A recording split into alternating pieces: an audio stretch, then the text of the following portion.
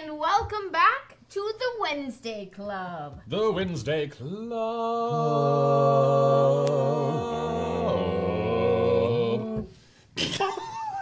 That was the Choir of Angels. Thank you, That is you. Uh, currently. Uh uh. And on our today's uh, topic, it was a choir of demons. Choir of Demons. well, I was gonna say we're welcoming a certain artist, but now I'm not going to because that's sad. Did I? Did Oh. I? I ruined everything. Well, actually, mine was kind of dark, so let's go with yours instead. Rewind that. Uh, today, that was a choir of demons. we have uh, a choir of demons celebrating all of the spooky side of comics in honor of one particular individual uh, who you may have guessed from this incredible backdrop by Ken Wynn. Can Let's take a moment. I'm go that way. There we are. So you can see That both is sides. our very favorite muck-encrusted mockery of a man, Ooh, the Swamp Thing. some nice alliteration. Co-created by legendary writer Len Wein and brilliant artist Bernie Wrightson, who, as many of you may have known, uh, passed away after a long illness this weekend. But uh, before that happened, he had quite the amazing career in comics and, and fine art. Uh, so we're going to talk about that and get into our spooky horror favorites.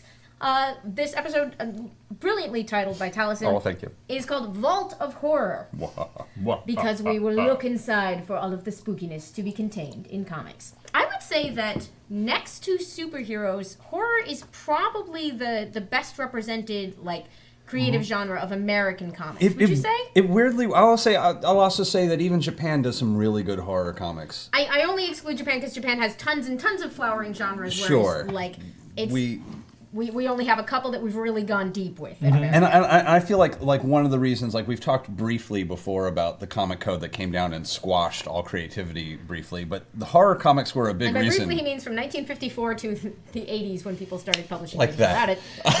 Uh, but the, the the horror comics were a big reason why a lot of that went down because they were dark.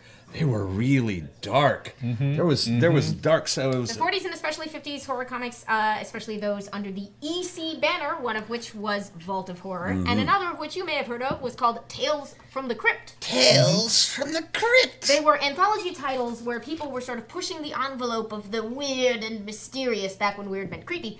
Uh, and Very uh, creepy. yeah, sorry. I, I, there's no synonym for scary that you can use that isn't an actual comic book title, so just assume everything is a reference today. So, yeah. I, I have an actual question. How Yeah. did the comic book code affect horror comics? It destroyed them. yeah. Because, like, I mean, like, because you had like Tales of Suspense. Like, I know I'm, I'm going from what I know of Marvel. You Yeah. had Tales of Suspense. You had uh, Aston, uh, uh, Tales to Astonish. Tales to Astonish. Uh, you had like all of those um, that they were working. You had like Ogo, what was it? Orgo the monster, Well, that you Jack Kirby, that like all that the stuff. Like, monsters suddenly become more about like it's a strange rock creature, Mm-hmm. and much less about like and it drinks the blood of the living. Yeah. There were very specific restrictions on like the, On the reason the zombie that walks like a man is a zombie that walks like a man. Uh, I believe, like Simon Garth, he they had to design him very specifically so that he like was acceptable to the comics code. I think he had to like actually be a living guy because they were specifically prohibited from having zombies or Mm-hmm. some. That, that was on the Fact list as check me like on as that, like showing like- the dead was like a big thing was on the list of things you could not do. to Yeah, get the label. it, so this came down in 1954. Uh, comic books voluntarily adopted the comics code uh, in order to keep their business, their entire industry from being shut down because they were being dragged in front of the Senate for making kids degenerate, uh, like you do with your pictures. And uh, so there was a long list of things that they could no longer do because certainly there were some creative excesses in those EC days. Uh, you can, we'll get it. We'll, we're going to do a comics code episode. Oh yeah, Um, but like and like those ex and like it, it led to some amazing horror comics. I mean, there's Yeah. stuff that was I mean that was to be fair sexually exploitive. It was intended to shut down like a lot of crime stories, a lot yeah. of horror stories. Those were the sort of primary genres targeted by this ban. Um, and one thing that you do get, what in terms of its effect on horror comics, was that what you could publish as comics uh, got to be constrained in terms of darkness and subject matter. And uh, the things that were no longer appropriate to publish as comics did actually find another flowering when we got into the 70s. Uh, speaking of Bernie Wrightson, uh, he was an artist influenced by those early ECs, he often cited, and then who eventually went on to work in uh, the. I found a loophole in the comics code. These aren't comics, they're magazines. So Wrightson would go on to work uh, on Creepy Magazine and Eerie. I think he more creepy than Eerie. but More creepy to- than eerie. That's Those a are phrase two different titles. you're gonna hear today. Once again, they're all titles. uh, they were anthology magazines published by Warren Publishing, Mm. who you're going to get back to. I will. but they they provided an outlet for a lot of like Wrightson put a lot of work in there. Richard Corbin put a lot of work in there. They were both strong influences on later creators, uh, such as, for example, a little guy called Guillermo del Toro. Well, it's- he's done some stuff, hasn't um, Yeah, he? Luke, that he guy? likes monsters. Okay, I don't, I don't know that I've ever heard of that guy. Yeah, no. Huh. He's, I, He I, sounds like an interesting fellow. I feel like I saw a video of him making like making quesadillas or something once, and like that was like a thing. Can I? is Can that I a real tell thing? you? That is actually he. Excuse he me, I puts, had to go Google this. I, I, I think is is he the director who puts a, who puts a, a recipe on every DVD? What? It a- sounds, What? sounds like he could Wait, be. who was it? I may have I may have totally messed this up. There's some director, and it's been years, who was like, Chat, like help me. who does who does a cooking show on every DVD of every movie he puts out randomly. That's Um, amazing. That's been like a decade. It'll come to me. Uh, or they, the chat room will answer this question. Can I- it can I- probably isn't Del Toro. Now I'm thinking about it. Can I Oh, tell well. you a quick? Uh, This is how bad I am today. Can More I tell you a quick Del Toro story? That Absolutely. Actually, like, so uh, Brittany, uh, my wife, my lovely wife, who might be watching. Hello, my lovely wife, Brittany. Uh, she uh, she got um, tickets to go see Pacific Rim, like one of those like audience screenings on Pacific Rim, where like the filmmakers are there and everything else, and like we answer questions and say like, here's what we liked, here's what we didn't like, all that stuff happens in Los Angeles a lot. So she got tickets to that, and we went to go see that. This is like a month before it comes out. We're excited for it. I walk into the AMC in Burbank, and Guillermo del Toro is with his family at the concession stand. No one is talking to him. No one is around. People are walking by him like, I'm going to see a movie, and I'm just like, Del Toro, Del Toro, he's right there. And I was like, I'm not gonna. He's with his family. I'm not going to bother the man, but this is awesome that he's right there. And if he wasn't with his family, I would I would go just say thank you, you know, for Hellboy and like all the Pan's Labyrinth. Like those are also great movies, you know. It's not Del Toro. Now it's killing me. Okay. Yeah. What's that? It's not Del Toro does the recipes. Now Now, it's killing yeah, me. yeah. It's, 'cause it's like I'm like having back on So Cronos. as I'm thinking that, his family leaves. And he literally just like leans up against the concession stand and starts drinking a soda. And I'm just like, Got a thought bubble in his head like, so bored, wish someone would talk to me. I was like, well, this is a sign from Jesus. Like, I should go talk to Del Toro now. Uh, and like, Brittany had already gone in to get our seats, and we were there with a couple other friends. So I go over to him, I'm like, excuse me, uh, Guillermo Del Toro, Mr. Del Toro? And he goes, hello, yes. I was like, oh my God, uh, I'm a giant fan of your movies. Like, uh, I'm really excited to see uh, your, your, your upcoming film. Like, we're here for the screening. He goes, oh, I'm excited for you to see this. I'm very excited for this film. And I was like, this is amazing. Like, I'm so excited. And he goes, so what is it that you do? And I go, well, you know, I'm trying to be a screenwriter, you know. And he goes, ah, yes, everyone is trying to be the screenwriter. And like, we laughed about it. And he goes, it is a son of a bitch, huh? and I was like, it, yeah, it's, it's pretty tough. It's, it's really tough. And he goes, you spend so many, so many hours, so many days and years writing these scripts, uh, draft after draft, perfecting it and getting it there. And you turn it into your agent and you find out, ah, there's a hundred other movies that are already being made just like it. And your work is all to nothing. I was like, that's coming from you. I'm screwed. I'm so screwed. But like it was like the he meant it like he didn't mean it as like a mean thing or an insult or anything like that. Like No, it was good very- luck, kid. It was just like two professionals. you got professionals. solidarity from Del. Toro. And it was just like we're just That's the writer. That's, the, Trading that's the war writer's. stories. It's the writer fist bump. It's Yeah, the writer fist yeah. bump. Like, So, no, no. Son Uh, of a bitch. son Yeah. of a bitch. He goes, "There's a son of a bitch." Uh, so then uh, I don't know why I'm doing that terrible accent. I know. Well, it's his. But- He's yeah. got a really cute accent. It He does. So as we were leaving, now everyone's around him. Like he's got a giant crowd around him. And uh, I'm like, hey, there he is. That's really cool. I got to talk to that guy earlier. And as we're passing by, he reaches up his arm and splits the entire huddle around him and goes, my friend Matthew, come here, talk to me about my movie. And I was like, huh, huh, huh, huh. And like he like autographed stuff for us. And he wanted my opinions. He's like, you're a writer. What did you think? And I was like, huh, huh, huh, huh. I was like, uh, you know, I loved it. It was great. Like I had a lot of fun action. I didn't want to like tell him like, you know, like eh, problematic here and there. You know, like I was just like freaking I love. out. I'm not even going to go into that Pacific Rim. I love Pacific Rim. Yeah, I love Yeah. Pacific Rim. I'm Uh, hateful. but like, I, I basically was like, you know, just told him what I loved about it, what sequences worked, and he was like, I was really trying to do a western. Did that come across? I was like, absolutely. He's like, I'm glad that this came across to you, Matthew.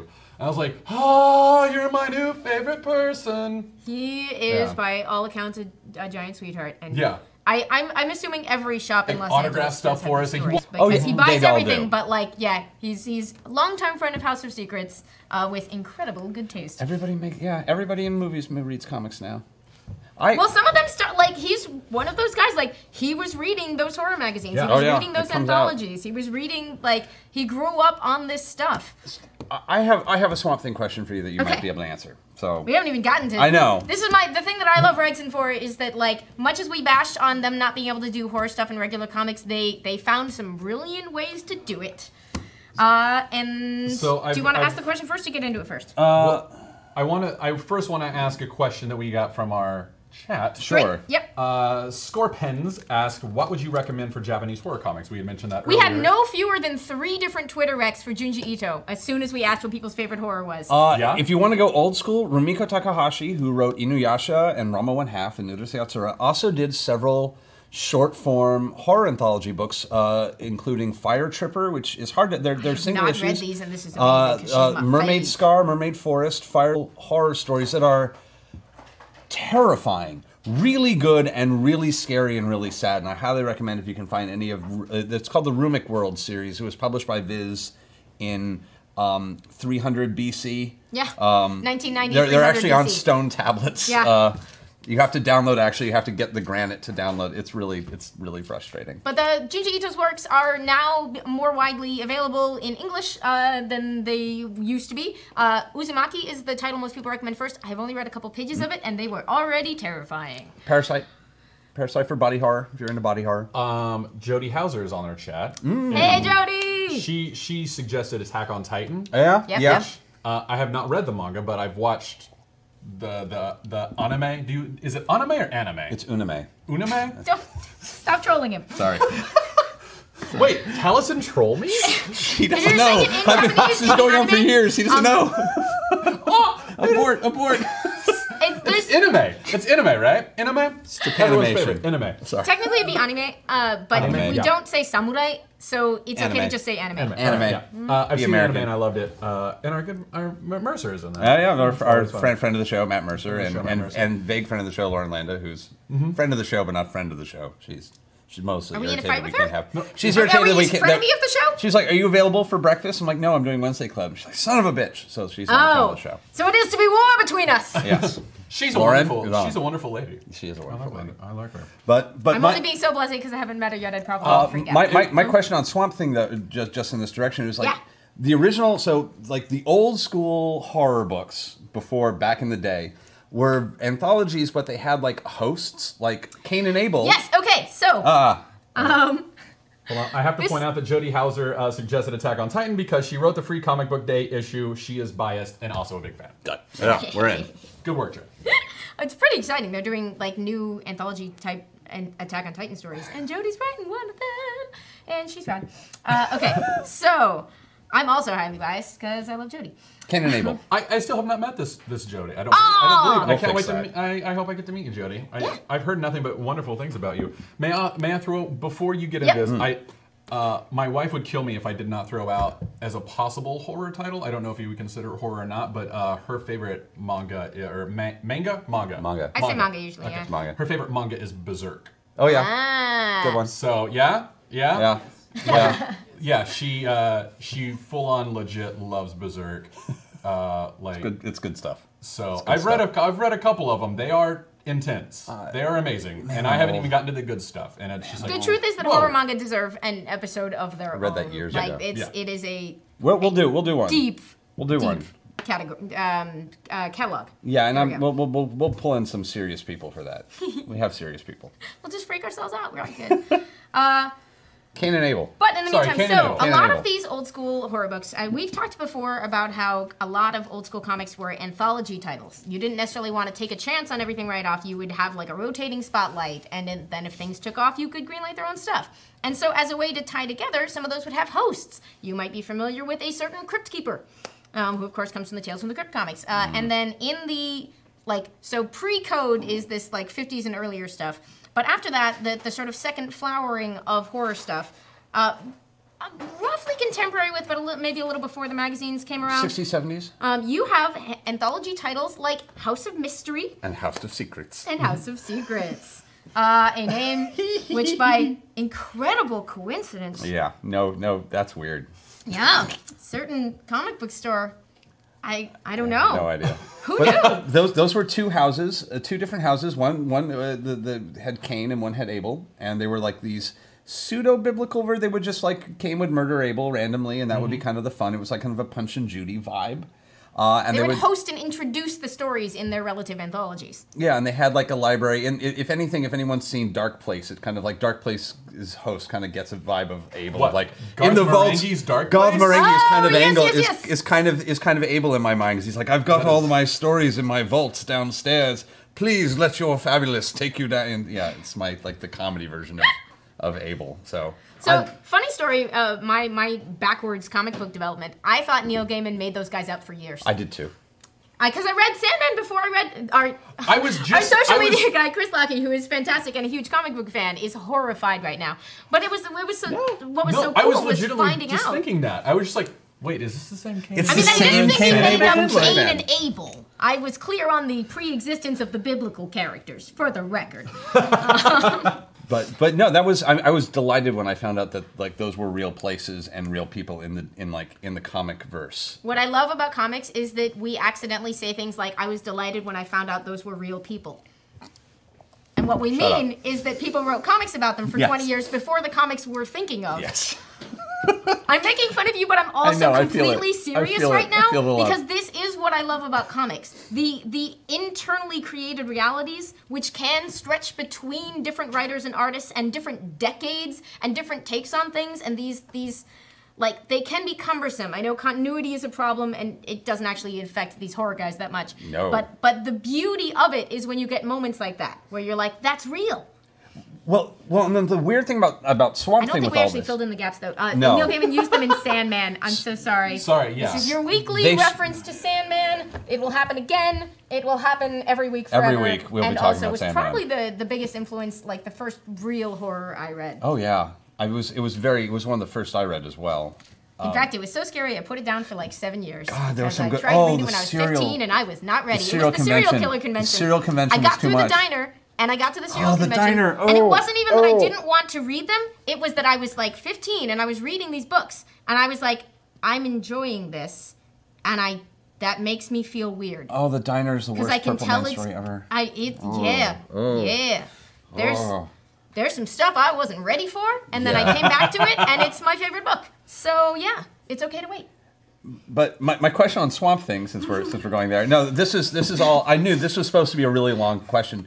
This is the, this is the first time Swamp Thing and like Swamp Thing was like a weird pop culture phenomenon. Like they made movies and stuff out of Swamp Thing that no one remembers. Swamp Thing was the first time I, th- I can think of of like a horror anthology book that has a central character where it's not a host. I like was I there listen, I never made the connection to it Like- being an anthology book. It's just that he he happens to travel to different genres. it's like and Highway meet to different Heaven. People. It's, it's the same way that Highway to Heaven or like Sliders is kind of an anthology show. Uh-huh. It was like it's like it's a centralized character antholo- horror anthology of like if like we're no longer hosting the horror, we're just walking into it every You know, week. it's probably a really good transitional document that way uh, from the sort of like s- fully serialized horror stories that would come later and and coming literally out of the anthologies because of course the first appearance of Swamp Thing we're finally getting there. Yes. Uh, was written by Very roundabout. and drawn by Bernie Wrightson uh, in a special book called House of Secrets 92.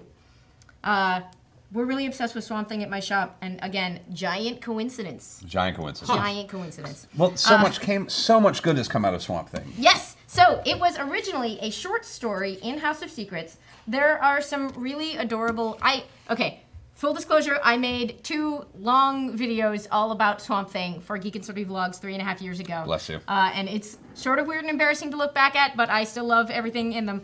Uh, and a lot of it is there's a lot of behind the scenes about the creation of Swamp Thing, because Len Wein was just sort of like talking to his editor at a party, and he was just like spitballing, and he was like, "What do you got for me?" And and he was just like, "And for the love of God, I have no idea where the idea Swamp came from." Thing. Um, and it was funny because the, the name came about because he, he had this germ of an idea for like a murdered scientist, uh, and then sort of who, who was sort of We'll, we'll Ca- get to ca- that. I was going to say character. We at some point we should do the character elevator pitch, like of just like so that people who haven't Ah, read Swamp Thing can at least have like an should. image in their head. Okay. Well, well, in the in the Yeah. process of working on it, Len Wein kept calling it that swamp thing I'm working on, and that's literally how they got to the name. Uh, but uh, th- those two had been collaborating on a number of horror shorts, and this one, In House of Secrets '92, proved so popular that editor Joe Orlando was like, "You got to do it. This is the, our best-selling book of however much. Uh, he's going to get his own title." And they were like, "No, no, no, I don't know." And they came up with a new pitch for their their tale of tragedy and lost love. Uh, and that was the original 1972 version of Swamp Thing. So, So and, and here's the deal, because do you So- want like I'm learning so much. Well- I love my show. I love our show. So I'm good. learning so much. This is the a- best. The original short story, they reworked his origin when they Oh. decided to give him his own book. And then, they Hawkmaned him more hard. than 10 years later, that origin would be rewritten again by a little guy named Alan Moore. Is he little though? He's very little. His I'm beard, on the just- other hand, is immense. oh, okay. His his beard is what gives him He's his probably. size. Yeah. he- His power it's- comes from It's his not beard. little at all. I'm just No. using the word little a lot today. Uh, It's got a great voice. but for the record, does. Alan it's- Moore. I, I called both Moore. Guillermo and Alan Moore little, so we know that I'm not speaking Little, in, little, in little actual Alan Moore. terms at all. I would watch like the Adventures of Little Alan Moore though, like a little cute. Alan. No, okay. So here's the thing: the Alan Moore run on Swamp Thing with Stephen Bissette and John Totleben Ama- changed comics forever. Amazing. Uh, and the reason I read the Wein Wrightson stuff was that I was like, I'm going to read the Alan Moore Swamp Thing. I should start at the beginning. So it was sort of this wonderful, pleasant surprise to me to find out that, like, the thing that was getting reinvented was an absolute masterpiece in its own way, just of a totally different style. So the Wein Wrightson Swamp Thing is Professor Alec Holland who was working on a secret formula, a biorestorative formula uh, that that was such an interesting clandestine project that the government was like hiding him out so foreign agents couldn't like come steal it. So they put him in this like barn in the middle of the swamp. Uh, in I'm gonna say Louisiana. Louisiana. Yeah. Uh, was- it was- thanks. yep. Uh, unfortunately, some some bad dudes found Dr. Alec Holland and his wife, Dr. Linda Holland, uh, and things immediately went very, very wrong. There was a bomb taped, like literally sticks of dynamite taped to the bottom of his desk, if I recall, like Mm-hmm, full on. Look under the desk, and there's like, yep, there's a there's a some There's sticks a of bomb. dynamite taped to your taped to your Yes, chem so lab. we will. I have a, a trade paperback. First, I'm going to show off this lovely laboratory that they arrive Oh yeah, at. here, well, a clip. Mm-hmm. You the clip? Yeah, I'm the clip.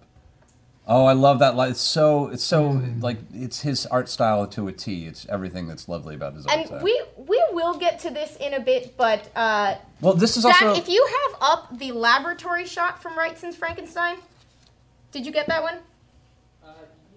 Yep. We can also say that this is the first issue of this is currently free on Comixology, so you can just click. You can literally click a couple It'll buttons. take some clicking around. You want the 1972 uh, Swamp Thing. They're, I mean, they're, they're pretty much all good, but They're- this uh, is the one that has the free issue one. It's not I'm a lot of bad Swamp checking Thing. if we have the lab. Yeah. Wow. Like the, the monitor can't even contain that. There's just so much happening. Uh, So we haven't gotten there yet, but Wrightson eventually illustrates an edition of Mary Shelley's Frankenstein, which belongs in the, if it's not in the Library of Congress, it should be. Um, but we're going to go back to the brilliant comic booky goodness of 1972 and this bomb strapped under the table.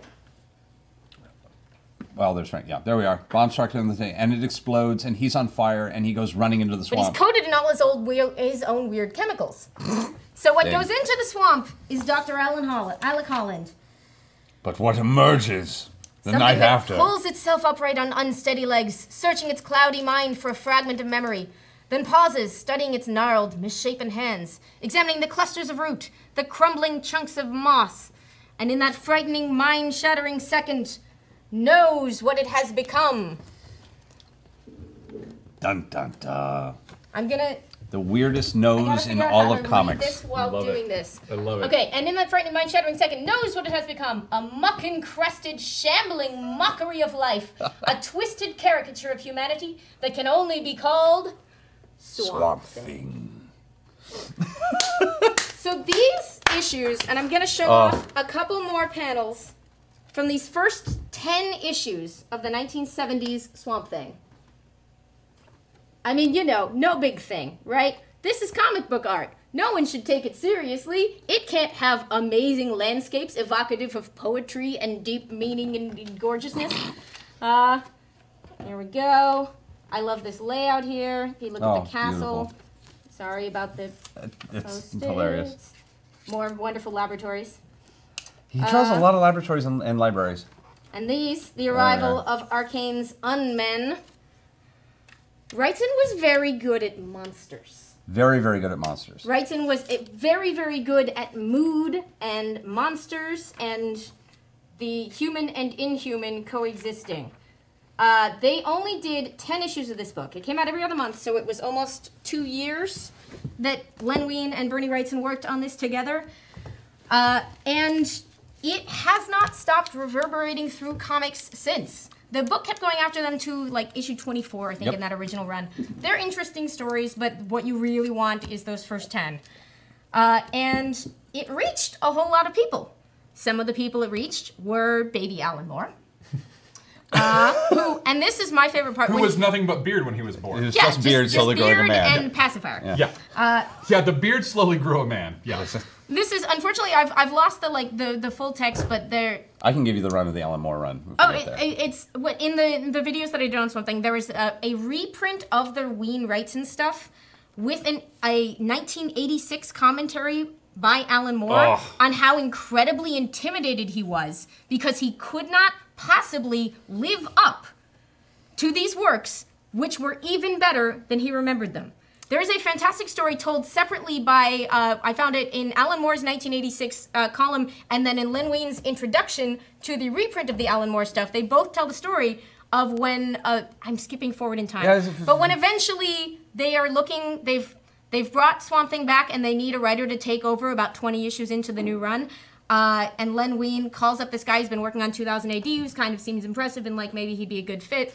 Uh, and he calls Alan Moore, and Alan Moore hangs up on him in very Alan Moore fashion. because he assumed one of his friends was screwing around with him because there was just no way that Len Wein, co-creator of Swamp Thing, was calling him at his house in England to offer him Swamp Thing. Because Alan Moore had never written a full-length monthly book. Okay, I'm way ahead of myself.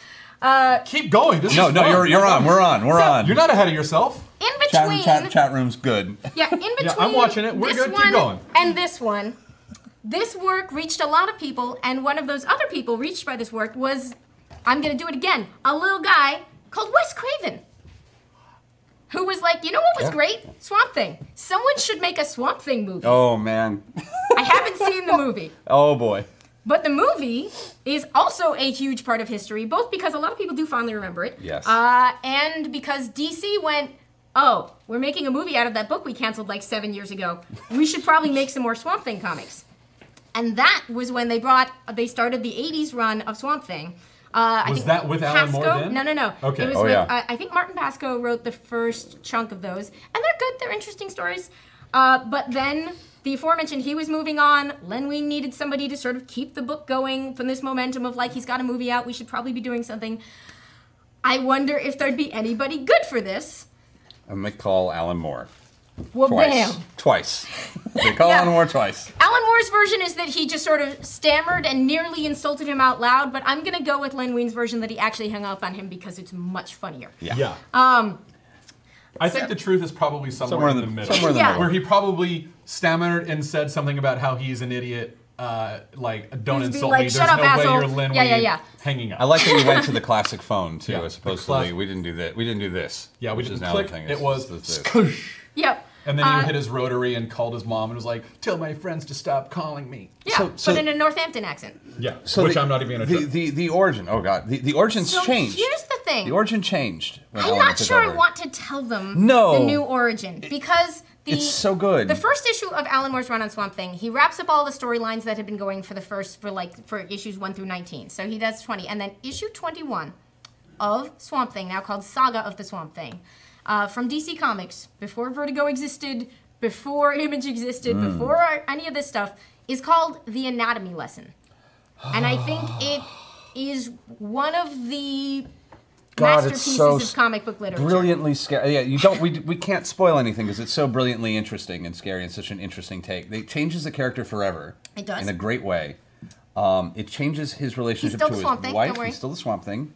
Um, it also this was the run that introduced a little character called the other one of the other great horror um, heroes of, of comic books, John Constantine. So Who I will always call Constantine, even though that's wrong. I, I know I go back and forth, but like It's I supposed got to be Constantine, and none of us no can none ever of us say remember it's. Constantine. No, because it's constant. the Hellblazer. But he's a he's a side character in Swamp Thing. Uh, I think issue thirty seven. That sounds is about. where he uh, shows I'm up. saying sure. Um, He- So we're, you're bringing all this up in the chat. We have Umbrasil. Uh, question: What is the origin of the connection between Constantine and Swamp Thing? literally John literally was a guest. Like I actually, if I, if I recall the issue, it starts with with with uh, uh, Swamp Thing buried up to his neck, trapped, and John Constantine smoking a cigarette over him, going, "It's a pleasure to meet you." Basically, I I thought they met in a pub, but that might be a. I think I think that's no, later. I think you're right. I think it starts with John like like weirdly capturing him and being a like John just shows up and be and, and, and is a jerk. John Constantine, by the way, if you saw the TV show, which actually was a very loving rendering, although a little a little softened for television. it. It was it was it was as good as it was ever going to get, which was pretty damn good. Uh, and the actor portraying him, I think, did a wonderful job. Uh, and he he also guest starred in an Arrow episode, which was surprisingly awesome. Um, yeah, it really was. Constantine, like I know, like teenage boys from my generation, like all like started wearing trench coats and, and smoking silk cut cigarettes because because of this because of He this. was just so dang cool. he was so dang cool. Smoking is bad. Smoking is bad. Silk cuts especially. Uh, but good music. Like it was like the, the notion of this guy walking around with enormous amount of taste, being an asshole, was really pleasing to a lot of. And and he's a great character. He's I been the original by. instructions to the artist were make him look like Sting. yes, it was. He looks very much like Sting. Yeah, was I, it I think Bissette it or was. Totleben or Veitch who was the artist on Oh, that I first don't appearance? remember. Okay. I don't have it written Well, down either. Sorry, but- guys. Um, But it's a character. It's a horror anthology character where he walks around. He's kind of like a, a black magician who's kind of pissed off one as too many people. black magic. Yeah. Oh no, that's a whole. The Black Magician is a whole other set of books. But uh, it, it sort of created that like outcast sorcerer vibe that like Mm-hmm. really lent itself to some amazing stories. Uh, they've done the the John Constantine. Uh, um, I'll go Constantine now because it's easier. Uh, the cancer story. He he bargains with the devil to cure his lung cancer, which is amazing. Um, I've read only bits and pieces of Hellblazer. I mostly knew him again because I met him in the pages of Sandman. Every every every serious British writer has, and a few of the serious American ones, has taken a, a stab at Hellblazer for a few issues. Which I, I'm going to stop and, and say that this.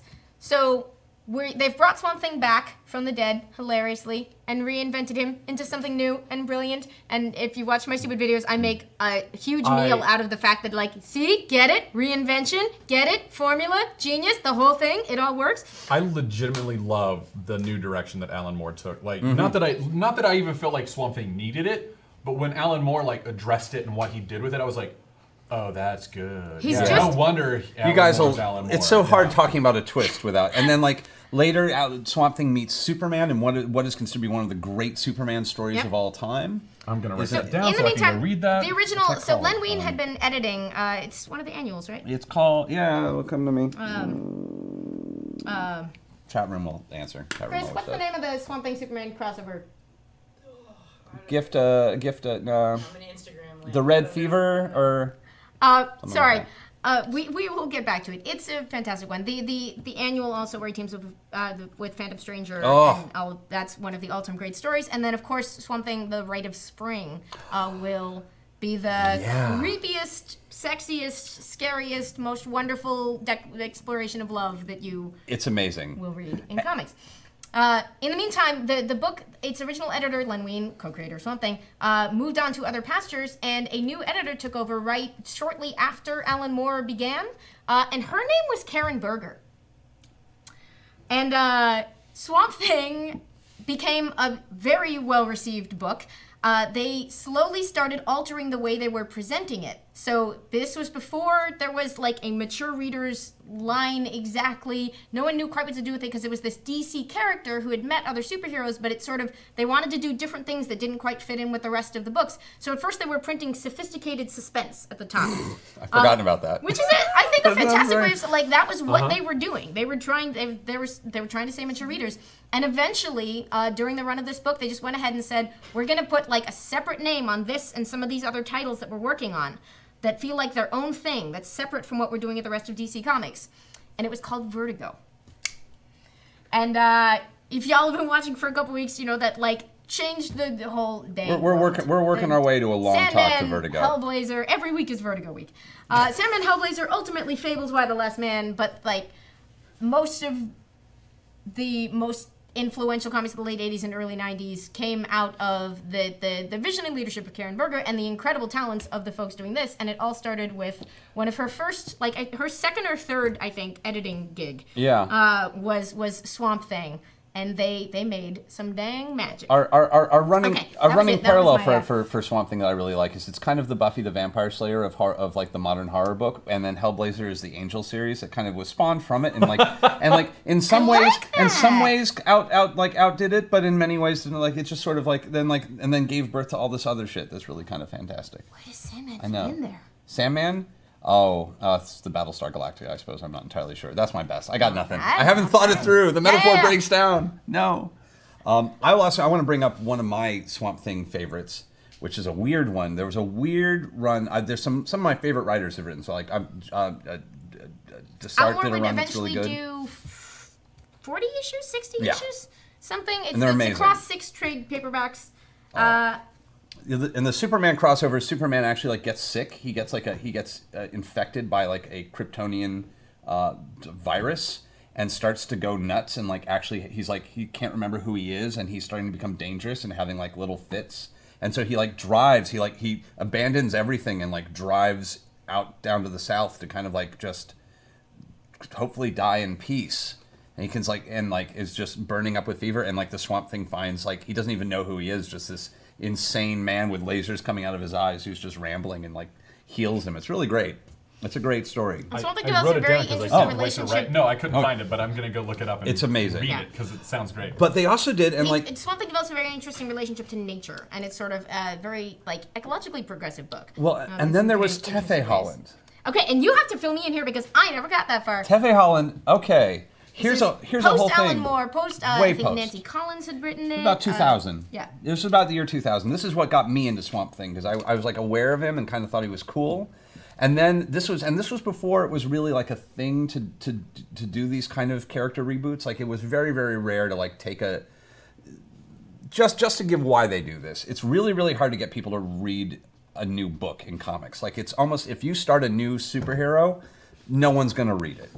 Which is why like they do team books all the time because then there's characters that people know and they kind of like they gravitate toward and hopefully you can like build up the popularity of like of like those books. But like there's a reason there's never even been like like they, they try and do like a rogue comic book and no one's like even that is not enough to as much as everybody loves Gambit and Rogue, it's it, it's tough to get a new character going. So you can kind of take a title that already has some clout, like you can make a Superman book and put a new character in Superman for a while and let them be the lead in the book and see if people will then follow them out into their own bubble, which is which works really well. Which is why we have like two new Iron Mans right now that Yeah. aren't Iron Man. One of see if anybody. I Uh, one of them, Doctor Doom.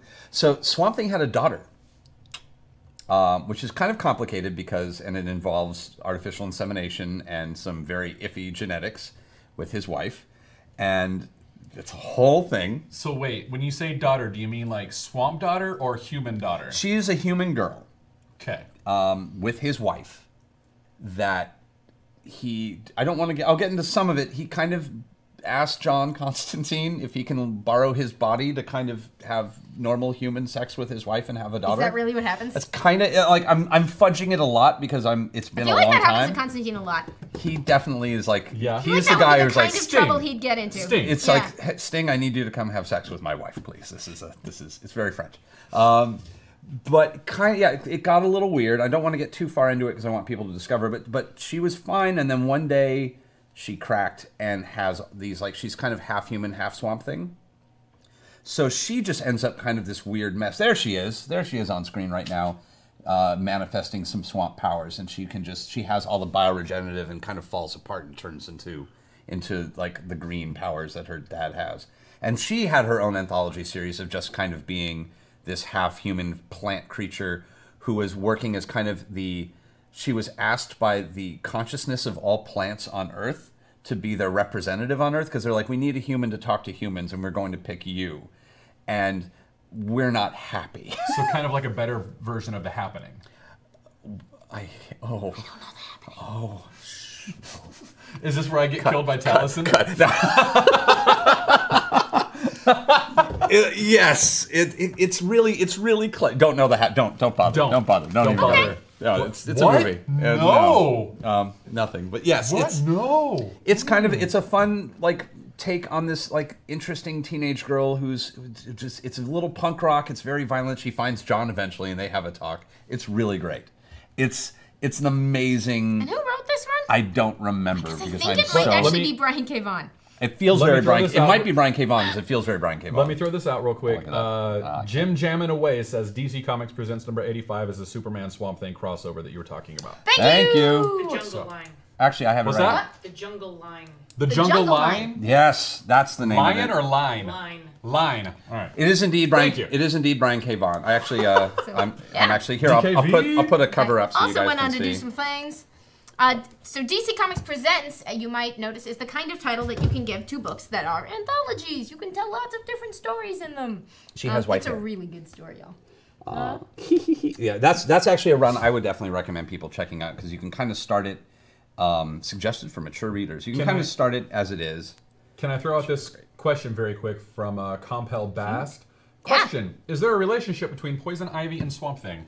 What? That's such a good question. That's such a good question. I don't know if anyone has gone there. and Well, that seems I silly. don't think there they is. have to have gone Yes. there. Okay. Well, one of the things that DC. I mean, they're I not- don't think they're like, related. originally. Well, here's the thing. One of the things that, that DC did that was really interesting in the 90s uh, was that they kind of created the notion that there are fundamental uh, natural forces in the universe, and one of them is called the green, and one of them is called the gray.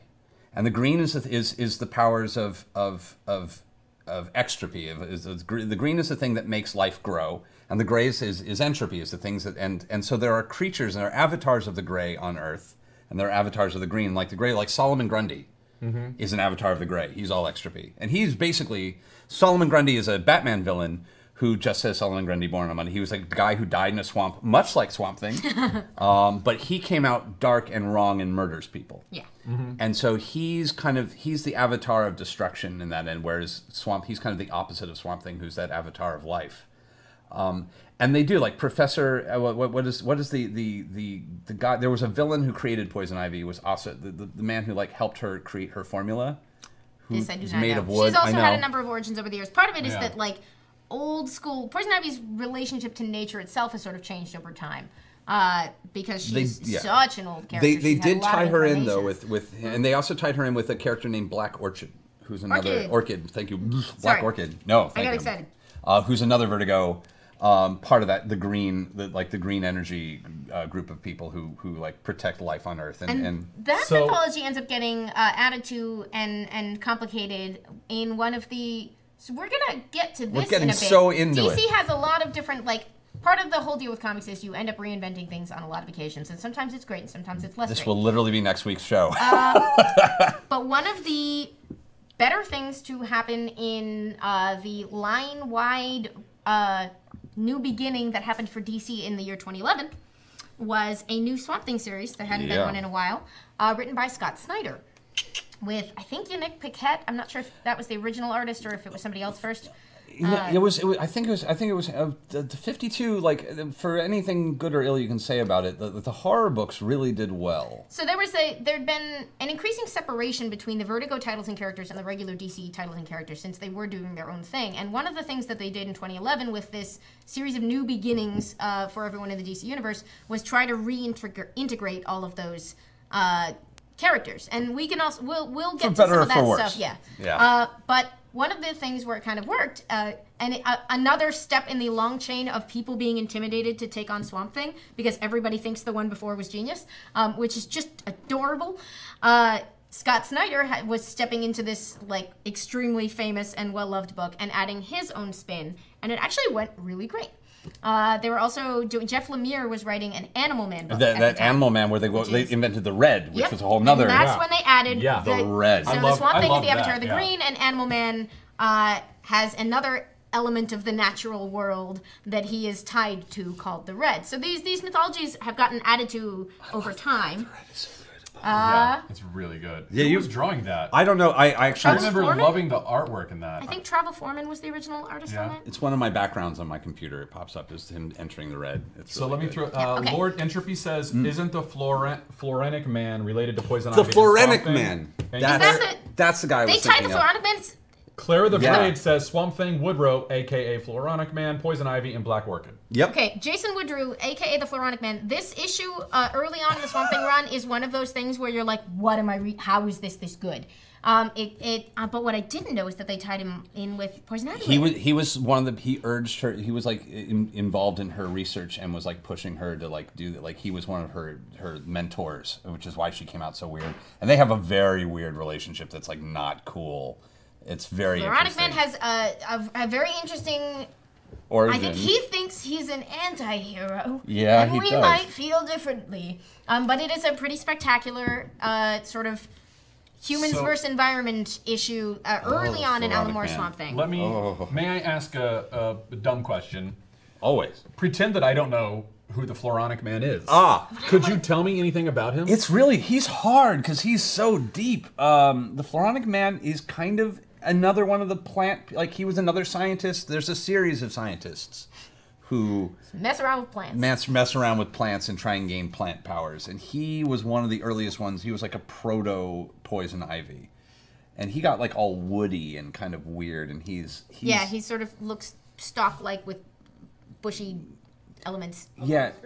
Oh, he's up on screen. thank There he is. He is creepy looking. Like like he's he is like he is a bad bad night in the And I think he probably started as sort of your your your ordinary kind of mad scientist Mm-hmm. villain. Um, but then, as people sort of took new approaches to things, like I, I specifically bonded to the version of him in the Alan Moore Swamp Thing, where they kind of reinvent him in a more sinister way. Yeah, yeah well, it, Not that he wasn't a bad guy. Well, it was it was one of those things where like very much the Swamp Thing kind of had that Captain America vibe in DC, where like everyone keeps messing up because they're trying to make a super soldier serum, so you Hmm. get all these really weird, bad attempts to make to make uh, the Doctor Holland's Swamp Thing formula again, and so you get Poison Ivy and Orchid and and and the Floronic Man and all these like And they, this is something iffy- they go back and establish in this way that's really cool, even though obviously Poison Ivy, Poison Ivy was around long, Long before. before. there was a Swamp Thing. But we, we go and we stitch her, stitch her into the whole Yeah. thing. The swamps have a lot of power in DC Comics. DC Comics loves the swamp, man. Bad it is things a funny come out of thing. Alan. Moore talks about how intimidated he was, like that. You know, he was writing about Louisiana, a place he had never been to. Uh, he was from England. Mm-hmm. Yeah. Not a lot of down home swampy goodness there. Well, like even even uh, like Morrison's Seven Soldiers of Victory book starts with the with the mystery men in the in their in their cabin in the swamp, which is Still need to very much Seven Soldiers of Victory. you will love Seven Soldiers of Victory.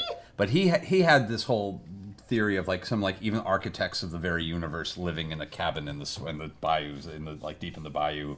Uh, the the, the uh, what were they? They were they were the they were the story storytellers, and they were they were sewing suits of everybody's death. It was so good. Oh, it's that's so awesome. it's so Grant Morrison. Yeah. Just just yeah. Okay, so in the meantime, I'm going to show off Bring a couple some more more, stuff of up. the original uh, rights and covers, just because I grabbed a bunch of stuff from the store, And um, and they are beautiful. I love all these things that you grab from work. I bring them back. You, you're a terrible cheater that way. Um, if we can take a, a close-up look before I put these away, before we leave behind the original sort of straightforward, and, and the cool thing is, even in the course of these issues, you hit different classic Oh. horror genres. You get like a witch story and like a, a clockwork city kind of deal, uh, and the kind of mad sciency character Dr. Arcane, who will Oh. become very, very important in these later runs. Uh, Such and a they, good they villain. very quickly in these 10 issues they sort of lay out a lot of ground that will be uh, retreaded in beautiful beautiful ways that, for is that decades Kane? to come Was that Kane on the cover? i don't think so i think No, this that- is no, that's the, a demon. the That's this is the Kane. moors episode It looked a little bit like Uh, Kane for a moment. Let me rewind this and kind of connect the- werewolfy some various pieces that Oh, yeah, we've bring all it, talked bring it. about earlier. yeah yeah Guillermo del Toro wrote the uh, first draft and re- turned in the screenplay for the Justice League Dark film that they're now calling Dark Universe. Mm-hmm. And the reported villain in that is Anton Arcane and the Unmen, which you just mentioned. So I'm combining Guillermo del Toro. Oh yeah.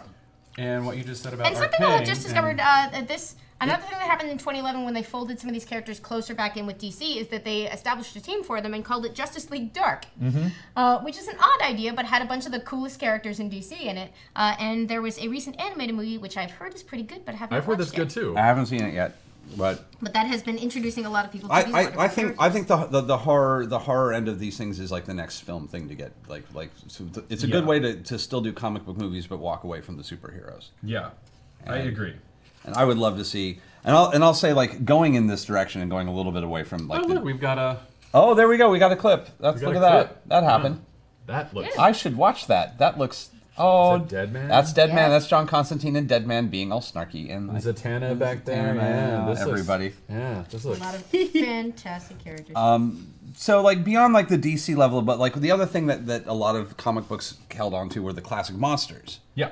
We had the I Vampire books, uh, Mm-hmm. and the I the the I Vampire. I what were some? Of the, they had a whole bunch of I dot dot dot. They're not actually related, I don't think. They're not, but they were like they they like the I I monster was kind of a thing though that that was kind of a a uh, I think they, they were probably all doing I Claudius riffs. yeah. Well, and then it, it led to the show that we have now, I Zombie. And that one's more of the like lowercase i, like Yeah. iPod, but uh, is is a lovely book which came out of Vertigo. Came out of Vertigo. It was one of the and course then uh, did. Tomb of Dracula, of Chris course. Robertson and Mike Allred did iZombie. Uh, Frankenstein, Agent of Shade, yeah, both companies have versions of Frankenstein in their universe. Uh, and Dracula. And and I am gonna actually circle back now. Uh, So Wrightson, before we leave him behind, uh, Hmm. Oh, did yes. like I'm most attached to his Swamp Thing just because I love them. But he did a lot of great work. He Mm-hmm. did Batman the Cult, um, which is finally remembered by many folks. He did apparently a Spider-Man story called Hooky that I have not read. Yes. I have not read it, but I, I, I looked into it a little bit. Uh, again, I was going to read it last night, and then I had a, a sick kitty. But uh, Spider-Man Hooky uh, has a villain in it named Torden Kaker, Kak, Kakerlak. and their thing, I think Spider-Man ends up in another dimension because Spider-Man, and uh, this entity becomes more and more powerful the more and more you defeat it.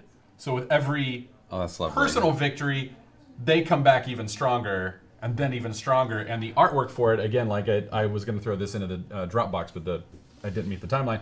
Uh, that's on me, my fault. But uh, it features it's this very Cthulhian, very like Lovecraftian sort of monster. Just a, like it's very like sort of like a Shoggoth, just like reaching at him, and it has more and more creepy mouths on it, and it's fighting Spider-Man, and just like, well, I've never seen Spider-Man fight a thing like that before. Like, yeah, it was almost it almost looked like uh, Venom. Like it could have almost been like, Looks like this.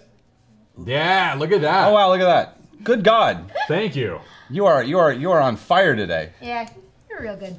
Uh, so Wrightson also illustrated um, early stuff, uh, not early stuff, but uh, for Stephen King. Mm -hmm. Yep.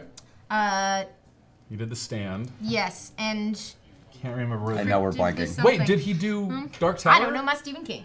Did he do Dark Tower? Uh, he didn't eventually. Do, he didn't work on like the comics they eventually did, but No, It's but just I feel like he work from the did early some 80s. illustration. Yeah, for That amazing that Yeah. amazing Frankenstein. yes. Can we bring Frankenstein back up because he Just 'cause did? it's lovely. Marvel published it, I think, originally, and uh, it was it was not a full comic book. It was just an illustrated edition. Oh, oh, love it so much. Mary It took Shelley's Frankenstein. it took seven years for him to complete it. It is. Uh, partially because one of his like, like, and I did a lot of research into this last night because, like, again, Frankenstein is one of my favorite books, uh, and I was excited to find out he he did this. I didn't, I, I had no idea that Wrightson had done this, but getting so fancy with this. Look at that. uh, Zach. Wrightson wanted it to look like it came from like wood carvings and wood blocks, so like he put that much more detail in it Yeah. um, to give it that 19th century Beautiful. feel. You can see the commonality between his regular illustrated style and what he was doing there. But you can also see that he had time and and uh, like a, a specific different idea about expressing his sort of compositional skills and his wonderful monster impulses uh, directed through that like woodcut fine art filter to get the unbelievable illustrations of his Frankenstein. Which just Google his Frankenstein. They're like the scenes of the the laboratory, the the scene. I think I posted on Twitter when we were talking about this. Uh, the initial moment where Dr. Frankenstein sees his creation, which has pulled back the drapes of the bed uh, and stands revealed before him, much to his horror, is just incredible. And it looks like I'm just tweeting some weird giant torso, but expand it. It's a wonderful woodcut Click, illustration. please click the Yeah. torso. yeah. But it, it, I, it it's interesting if you start delving into the into horror books, especially some of the classic horror books of the seventies. I was like, I was picking up my favorites this week, and like he just worked on all of them. Like I wasn't even looking for him, and he was just he was everywhere. He did everything. It was, I mean, it's it's his fingerprints are on every book I love from of that genre. It's just nuts. Good company. He was, he was accompanied by many other very talented folks. I, ha- I had to like specifically find stuff he didn't do. It was like it, like I, I had to put effort into finding things that I could talk about that were not him. So I know we want to move on. Do you No. want me to ask a few questions? Yes, or- I, yeah, I feel And like before we leave Wrightson behind, I, w- I do want to add one more thing, which is that if you hadn't had a chance, there's a lot of great uh, articles on him have come up this week, retrospectives on his career, and maybe just as importantly as his enormous talent, a thing that I've enjoyed in the last couple days is the torrent of stories about what a great guy he was. Uh, just as someone with a long impact on the industry who we've recently lost, it's been really nice to read how many people's lives were touched. How many young artists said that he was like kind to them at their first convention and then they were tabling together years later and he just uh, was apparently a good friend to many, many people and loved by many, many people, in addition to his enormous talent. Jody, so this Jody is our moment Houser for Bernie says, Wrightson. well, it just moved. Yeah, Jody. Houser says that she bought a uh, print for him last year, and that he was just the most lovely man in person, and was very sweet and kind and I to talk never met him, to. but Yeah. So, thank I'm you, Jody. really glad that happened. So, you you were saying people were saying Yeah, those yeah, yeah. things, and I wanted to throw that out there. I meant that as agreement. I am really excited by that story. What, what, let's yeah, we we've been ignoring the chat for for to what, what, Yes. what- like pull some pull some. Uh, All right, so uh, question from uh, again from Scorpions. Hello, Scorpions. Uh, question: What is your biggest fear, and which comic book exploited the hell out of it? Ooh, oh, See, because like my biggest fear is flying. I Mm-hmm. don't handle flying well. Um, I, I, I'm to a point where I almost refuse to fly without my wife next to me because she calms me down during takeoff and landing. Um, but uh, I don't know that any comic has ever exploited the hell out of it. Yeah. So I'm trying to think of No, my, like, my biggest fear. I'm actually I, I, I won't say my biggest fear on, on camera because because I don't want to give people ideas because I'm I'm you're out there enough. I'm out there enough and and, on, and honest to God, like I feel bad if I punch somebody because I go like I turn red, like I my, my vision goes red. And I'm like, oh my God, you did a thing you thought was gonna be cute. Now I punched you. Now I feel really shitty. Uh, true story has happened. Um, but yeah, I mean, like, what? I'm trying to think of the scariest book I ever read of like like the comic book that really.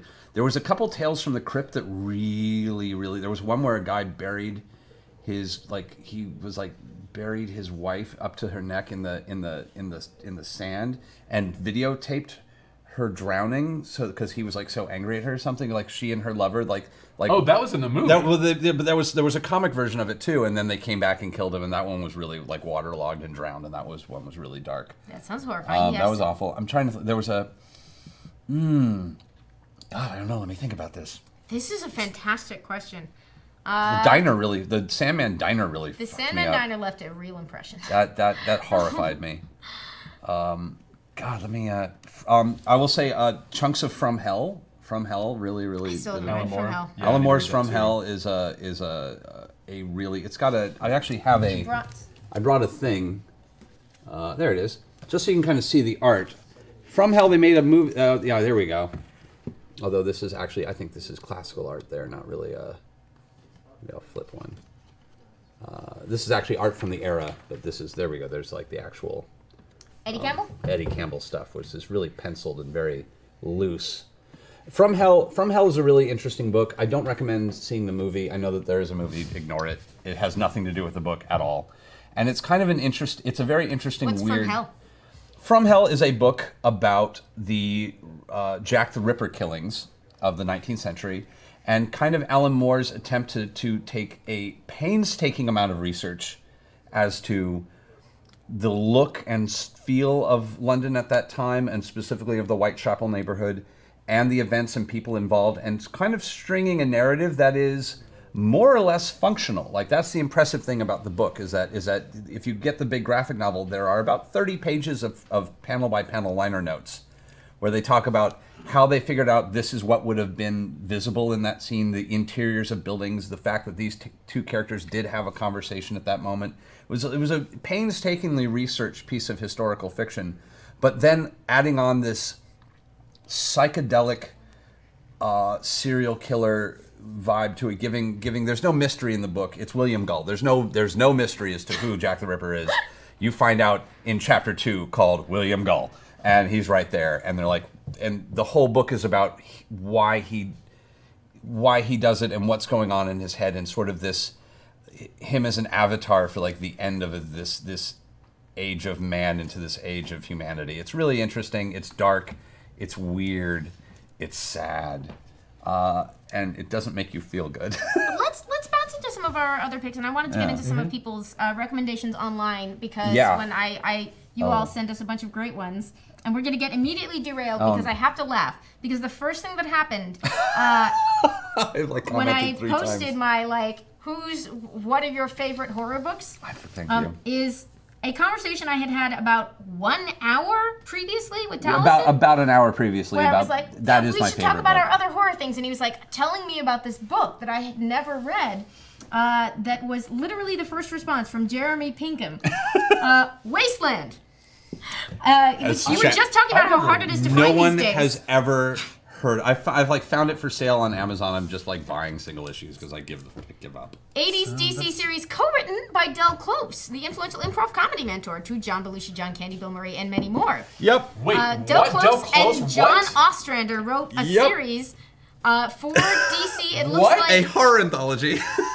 It looks like pre-Vertigo because it's suggested for mature readers, but it has the old bullet logo DC. Um, and it's called Wasteland. And uh, yeah, take it away. What was that? It's it's a non-hosted anthology. I love. Actually, I think we have a Wasteland cover in the in the art in the art bin. I gave a Wasteland there, a couple of them maybe. And Jeremy Pickett, this is why I just shouted OMG Taliesin when you tweeted this. Uh, Yeah, because like because like this is a book that this is one of the first horror books I read actually, and this had a huge impact on me. It had an impact on me as a writer. Uh, it had a, the the book had so much character. It has a little bit of heavy metal vibe, if you know the heavy metal magazine Yeah. of like Oh, which Wrightson also contributed to in one of his segments was used in the movie. yeah, it's Forgot that in the rundown earlier. uh, it, it's of course, 'cause, uh, but it's it's a it was it was a horror anthology that really went everywhere. There was no real connection with it. It was just we're going to tell some cool, fun stories, and not really. Sometimes they were literally that story would be the writers in the writers' room talking about the idea fact that they didn't have a good idea for for a short for the book. Uh, that got like really psychedelic. There And was Jeremy shares yeah. that there was even a horror parody of uh, slash tribute to Harvey Pekar, legend of independent comics publishing, to his book American Splendor. Yes. um, where they made it unsettling rather than wacky in tone. Uh, there were, my favorite story from that book was, was one called Fugu, which were a bunch of rich people. Uh, they, they these two cops find a dining room full of people who are just dead, just dead at a table, and there was a mushroom that they had cooked. And the deal was, you eat this mushroom, and it's the most pleasurable experience you'll ever have, except it kills you. So these are just like 12 rich people who have paid a fortune to somebody to cook this meal for them, knowing that it's the last thing that, that they're going to die and this is going to be the last thing. And like why these 12 people decided to end their lives just by like consuming this thing. And they're just these corpses with huge smiles. And it's, oh, it's so dark. Ah, Well, that sounds terrifying. yeah. And it's just like, and like, and like the cops are freaking out, and there's not this. I'm spoiling it because you're never gonna find this book. Uh, and the But I cops wanna are- go find the it cops now. are This freaking out, and they're like, and like, who the fuck would do this? Why would anyone like what? And like one of the cops is just picking a piece up quietly, and like, like, oh, it's just, oh, it's so fucked up. It's great. It's so great. Oh, I want to go find this book. it sounds so good. Yeah, it's got a very heavy metal vibe. It's again, it's it's it's the '80s, but it's it's really good. And I and like the thing with horror is no matter what, it's going to be a little salacious and weird and dark and fucked up. And yeah, You can explore a lot of interesting things through horror. Uh, Wasteland. It, you can't find it on. It's it's it's unfindable, but it's great. Give them time. I, they got to. I keep hoping. Every I, I brought it up at a Vertigo panel once. I got laughed at. it's like they're like, no, what's wrong with you? Really? So Jose Hojilicious uh, uh, gave a shout out to the Tales from the Crypt, Tales of the Mm. Crypt comics. Uh, that said the barbershop had them, and it was all they had. Uh, Kathleen Evie gave a pick, which I think Matt is going to get into a little bit. Mm-hmm. Harrow County Boom. has been my favorite horror comic I have read in the past year. That's at, at Edie underscore K. What's Harrow County? Because well people are flipping out. Edie, well done. Uh, I'm I'm a, I, I'm about maybe halfway through This is it. volume two. We were Uh, out of one I'm, at the I'm shop. halfway. I, I'm almost done with volume two. Uh, I, I, it is so good. I was re, I was rereading what I'd read last night uh, thus far. So I believe that it's uh, about a main character named Emmy, if I, if I remember correctly, and she discovers that she is sort of like the um, rebirth of a witch that had terrorized this tiny village, and everyone in the village was afraid of her, and she didn't know why. And she kind of leaves the village uh, frustrated one day ends up being kind of followed by a dead boy's skin. Wow. and he becomes kind of like um, her best friend just the skin and she eventually like it gets a little bit deeper in that. I don't want to say anything beyond that. But she decides oh i'm not going to be evil i'm going to be good. And then the village is like oh yay we can actually we can use your help then because we've got this weird thing living in our barn.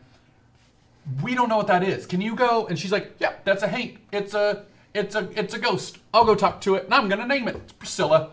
It's like that. And they're all like yay! But then uh, i won't tell you what happens but it turns out uh, there's another witch who is ill-intended You a good witch or a bad witch? and she comes into town and that is where i will leave it but it is i knew i would like i knew i liked it early on but then somewhere around i want to say issue three or four Oh, um, the, artwork is gorgeous Holy- i don't know who's the oh, who's the wait, I'm artist gonna on find- Tyler Crook, uh, who It's this is a, a Dark Horse gorgeous, book, it's by gorgeous, the way. yeah. I mean, we're giving a lot of Vertigo uh, love, but Dark Horse. I'm going off has Vertigo also soon. been incredible in terms of horror. I'm really bad at because this, you may know go. them from this guy's work. Oof, i love hellboy Uh, they are the home of Mike Mignola's Hellboy verse, uh, which includes Hellboy, the BPRD, BPRD, Abe uh, Sapien, Abe Sapien, yeah. Witchfinder, a, a, a whole network of different flavors of supernatural and and suspenseful storytelling. Yeah. So I knew, like, I knew I liked the book from issue one. I was all about it.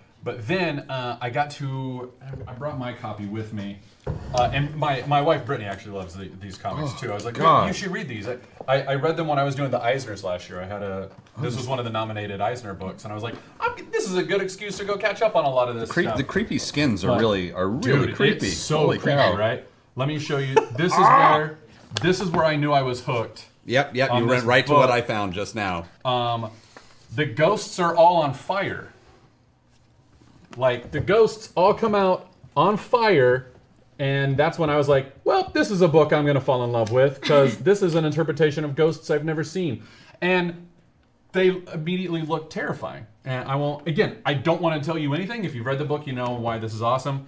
Uh, if you haven't read the book, go find out why it's. But, but look, like there's the skin crawling away. Oh, See, it's so, So good. Yep. it's so creepy, so wonderful. Mm, Okay, I love so it. we had So, our- our- Harrow County. Our first shout out for Uzumaki came from Ricky Galetti, uh, which is the, that's the Junji Ito book. Uh, Spirals is another name. you I, I actually. I have another Japanese. It occurs to me I have another. I have a deep cut Japanese manga for those who are like who Runic like. World wasn't your deep cut. Oh, I can go deeper. Okay. Uh, Not a- surprising. As a goth kid, I was a goth kid growing up. It's apparently What? thing.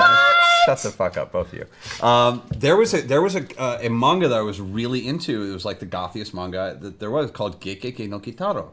I've heard of that, but I haven't read it. GeGeGe no Kitaro is kind of like the notion is it's a dead boy who lives in a cemetery. They've did they've done animated versions. They've done live action. It's been going on for fifty Is years. Is this Shigeru Mizuki? It's so yeah, with the little eyeball. His dad, there's his, there's nothing left of his dad other than an eyeball. So his dad just sits on his on his shoulder as like a little eyeball, and all of his friends are ghosts or demons. And like the the opening theme is this very nice like ge ge ge again no gas, and it's like and the whole song is like being dead is fun. You don't have to go to school, and it's the creepiest. I have a little statue of it on my desk at home. Uh, GeGeGe no Kitaro is like if you're looking for like spooky, fun kid kind of kid, like for that kid who's already getting a little weird. If I've got the right thing. They're finally putting the Kitaro books in uh, nice English editions They that are easy to find. Uh, this is if if this is That's that's, that's my last uh, Japanese uh, Japanese uh, reference right there. they they are finally becoming available. Uh, he did a multi-part history of modern Japan called Showa. That was where I was like, "Who is this? This is fantastic!" But he also was apparently massively more famous for his sort of folklore stories. And they're, they're um, they're very like a lot of Japanese folklore. There's an evil cat. There's like a I say evil. There's a cat girl who's like his his kind of pseudo girlfriend because they're very young and like. Taliesin, question from Autistic Cosplay. Hi, autistic a cosplay. Have you read? Have you heard of Mushishi? Of course, love Okay, so there you go, Mushishi. What Oh, is yeah. Mushishi? Uh, it's a, it's a, I, it's a, I don't even want to, I can't do it don't know justice. I know it's, it's a, oh god, somebody else can explain it better than me. Mushishi is, is a fabulous. I haven't read the manga, but I know the, uh, there, I believe there's an anime thing for it. But yes, I know Mushishi. Uh, it's been so long. I will do it. I will fail because it's been so long since I've dealt with Mushishi. Sub S Vid says, so I'm looking at a paperback version of Wasteland at my local Target. Jokes on you. At your local Target. Okay. There's another one wait, called Wasteland. wait, haha, Check- reverse joke. Um, there's an Oni book called Wasteland. Uh, also comes highly recommended, but is a different Is thing. it Just different check Wasteland? if it's Del Close and John Ostrander. Um, and if it is, then mock Taliesin. Mock me then. Yeah. Mock will. you. Mock you. What? Target's carrying It's been so long since? I've had to describe This Mushishi is to anyone. I'm kind of exciting. even. Okay, no, that's like nuts. Um, okay, Ricky Nothing Glenny also with shouted out, "I love horror is subjective," but he also added Arkham Asylum by Grant Morrison. Yes, Arkham is Arkham. Batman does very good horror horror, of the human mind. And Arkham, and it's also that that artist is a, a, a oh for it's That's a, Dave McKean, isn't it? Dave, yeah, I think it's Yeah. McKean. It's amazing. He would go on to do the covers on Sandman, uh, which are pretty iconic in their own right. Get- uh, getting away from DC, I'll also say if, if you like that kind of EC 1960s horror vibe, Sabrina the Teenage Witch, Ah, and and so- Afterlife, Afterlife with Archie. So, speaking of weird twists that comics take over time, two of the uh, most critically acclaimed and best received comics going right now are the terrifying Archie books. That is a question from uh, Cardinal Cardinal Iron. Does Afterlife of Archie take its horror seriously, or is it more humorous? Uh, it's scary. Yeah, It's it actually like If I may, there's there- an there's- issue of there's- Afterlife with Archie that made both of my coworkers cry. there's there's there's nothing funny about Sabrina the Teenage Witch. It's it's. I haven't read Sabrina yet. It's Whitney Moore really swears good. by it. yeah, I, I haven't read it yet. I think we have a cover in the in the file. I think I pulled up a Sabrina the Teenage Witch cover just to kind of get the vibe of it because you look at it and you go, "Oh, that's the book." um, yeah, there's Sabrina. That's it's great. Chilling Adventures of Sabrina, as they are calling it. These these both of these books have their only flaw is that they are really inconsistent in their publishing schedule. Who's publishing them? Archie, Oh, it's just Archie Comics. straight up Archie, Comics, Comics man. uh, has their own line of incredible horror It- going they on. come right out now. when they damn well please. Afterlife with Archie is a zombie book uh, that is venturing into some other territory as well, but starts The- out as a zombie the, sort of thing. the Sabrina Jughead crossover made me very happy. Um, and uh, Chilling Adventures of Sabrina is, of course, grounded in that character's tradition of witchcraft, just a much more serious version than we've seen. Yeah, and it's set and it's set in the '60s, and it's very. Oh, there's Sabrina. There's there's Jughead meets Sabrina, which is a really good book that I like. Oh God, it's I'm so I feel weird how much I like Archie. with the Archie stuff, and I guess it's not going to be so weird to you guys now because it's the same people in charge who were like, "Hey, we have an idea for a TV show. What if Archie was Twin Peaks?" Which I- haven't I haven't- I have not seen it yet, but I hear uh, really good are things. It's- out. It's fun. I'm very I, excited. I was not expecting it to be quite as fun as I'm enjoying it. it's Like, it's like, also That has I- been said about I- pretty much all of the Archie it's stuff also not the for books. several years. It's No, it's- like it's- it's not, it's even not. the even the, re, re, the even the new books. It is not taking anything from from the new books at all. So let me throw this out there uh, Yeah. real quickly about Archie Afterlife. I've only read the first couple issues of that. I liked it a lot. I just didn't go back to it. Uh, but the question is like, is it seriously more humorous? I think that there is a bit of like irony eh, in the like. I don't know that that makes it humorous, but there is an irony in like, oh, we're doing a zombie crossover with Archie, and now Jughead is a zombie, and now we're going like, yes, it gets sad and all that other stuff, but I do think just inherent in the initial concept of it. There's sort of a level There of is inherent fun. camp. They're, they're, Exa- yeah, it's a bit Fun. There's an irony and humor to the basic concept. and they're think. they're sort of as illustrated by one of the the things. Everything sort of kicks off at the big Halloween party, uh, to which uh, the characters have shown up in sort of meta commentary uh, costumes because I think Betty shows up as a, a nurse, like a wicked Yeah. nurse, and Veronica shows up as a certain Vampirella. And I'm guessing I need to put down the recommendations because we're about to take a detour, Um, okay. as promised on Facebook So, Live by as promised on earlier Facebook today. Live. Uh, okay, we were we were all thirteen-year-old boys once. Sure, we were. We were we were in our own way. I would like to say, and I definitely I'm not going to pretend that I didn't buy Vampirella comics because of the covers. I bought them because of the covers. And they originally started in the Warren Magazine publishing family. They the same people did. bringing you eerie and creepy. Uh, We're like, here's the pitch. Vampirella, daughter of nearly Dracula. Yeah, she's and like by nearly naked. Then like it was she is more nearly naked than like it's like someone figured out a way to like turn Doctor Strange's cloak into a bathing suit mode. Mm-hmm. It is like it's intense. Uh, there she is. There. This was like the least lurid cover I could find, and I was like going through like what is what is the least lurid Vampirella cover ever, and that would be the one. Um, they were great. The interior art, I, I've got to say, is stunning. It is it is it is definitely erotic. It is definitely sexually charged. I give it kind of a vibe if you're a fan of Barbarella. And if you're like if you're down with that vibe, like it's there are books where, that are very exploit uh, exploitive exploitive exploitive. Exploitive? Um, this one is less so. Like there there's there's a trend in there, especially I've been going back and reading it and they're definitely um, lascivious villains and it's all there's there's a lot lot of boy I shouldn't use that word it's too big Um, Lascivious? uh, lascivious is a little too yeah, good it's. That's a great word. I don't. Uh, I don't. I don't. there, see there, the there, there, there, there's a there's a lot of we shall punish we shall punish these evil men for daring to to think about about grabbing boob, uh, with, but like it's a good moral tale, but it's definitely like they are aware that she is basically on display at all times and is kind of played for what it is. And they're really well written, and they're really scary, and they're really well drawn. And it, I found out that uh, it, uh, other than just Trina Robbins, who helped create the character, Forrest J. Wait, Ackerman, Trina Robbins helped create Vampirella? uh, it's according to Wikipedia. Trina Robbins is a comic book historian and old school creator who I completely Or I might be like. I'm going to double check that now because now I'm because like because I found Forrest J. Ackerman's name also connected to them. I was like, that's nuts. This is I know very little about Vampirella. Um, Uh, JJ Dane on the live chat says Vampirella had stories. Yeah, th- Yeah. yeah, no, it's like going back now as an adult who can like who can like deal with this now, now and she, not they're have their still hormones. publishing Vampirella books. Different companies have had her sort of rights over the years. Currently, Yaml she's Yaml at Yaml says, "I heard Kiss meets Vampirella number one comes out today."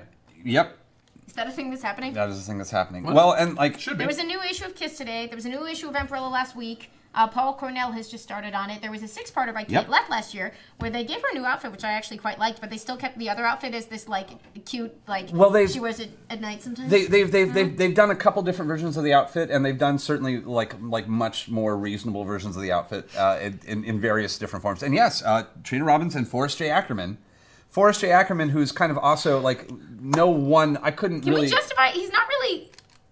I guess we can't have a comics thing just on Forry Ackerman. we but, could, like, we could. as we said earlier, like there, I don't think any of us would be here without Forry Ackerman because he like half invented fandom. he he i mean like i think that's actually very fair to say that he is like one of the godfathers of fandom like of like the notion of being this into something Yeah, he uh, showed up with uh, I, like is known as one of the first cosplayers uh, because he and his oh what was uh, his girlfriend made the costumes. They showed up in uh, what they called their futuristic costumes at one of the very first World Science Fiction Convention in like the late 1930s, I think. Uh, dead uh, gone dead and gone now bless him and by by World Science Fiction Convention, we mean probably like two dozen people somewhere in Boston. Uh, born look up, look up, 1916 look up her name because this is killing me. Uh, um, yeah. She she made the costume. She essentially invented cosplay. But they showed up together like in in sort of uh, outfits that were an homage to a recent science fiction film. myrtle douglas Myrtle. Myrtle designed and created by myrtle douglas in 1939 they showed up the worst, first world science fiction convention in futuristic costume Yep. is what they called it And uh, they, this, there are some really adorable photos of this. They both stayed involved in fandom. Uh, Forrest Ackerman would go on to found the magazine Famous Monsters of Filmland, uh, which was also a huge influence on a bunch of these sort of horror creators over time. Uh, and and yeah, he was he was just he was he was also famous for having his home in Los Angeles was one of the first museums of science fiction pop culture, and his home was it was a private collection of costumes and magazine and like uh, like he would take people on tours, and it was, I mean, it was the thing to have happen. Like to be invited to the Ackerman home was was to the point where before he died, they they attempted to photograph it and put out a CD-ROM, a CD-ROM. Wow. Google that if you don't know what a CD-ROM is. um, I'm actually gonna like I have a great picture here just to sort of give a give a vibe. Thanks Yeah. to I apologize if any of my like calendars go nuts or I get texted while this happens, but. Um, hey, you are there's- a jerk. Caroline oh, I need to text Taliesin right now. Yeah, no, Forrest J. Ackerman and like and like his collection was was citywide, world famous. People would come from around the world in the hopes of getting a tour of the Ackerman estate. Uh, Car- Caroline the Geek says, "Whoa!" Quote: In 1953, he was voted number one fan personality by the members of the World Science Fiction Society, a unique Hugo Award never granted to anyone else. Yeah, dude, dude. So we have a lot. We have a lot that we owe him. We do. Um, but I and I did not know that he was involved in the creation of Vampirella. Vampirella. Very him. Uh, and it's a great, it's But, an like, interesting God character. bless Trina Robbins, who is just a living legend and an amazing historian and comic book creator. I had no idea. Yeah, and, and if you're in the mood for a little more Bar- Barbarella fun, like if you saw Barbarella and you're one of those people who are like, I don't want them to remake it, but damn, I wish there was more. Yeah, I can't like Although I can't is personally vouch for the old Umbrella Emperor stories because I haven't really read any of Yeah, them. But like, there's same. absolutely a place for The, the storytelling. film, I'm that like, the film gets the like- vibe pretty solid. Yeah. Okay. Like, Well, oh no, the only way through is to remove your garments. we know not of your earth sex culture here. We take pills and join hands. Yeah, there's a lot of that. Wow. Uh, For the yeah. record, like I, you know, there are things. I object to the element of comics where you get into a place where every single woman and every story involving a woman has to be that.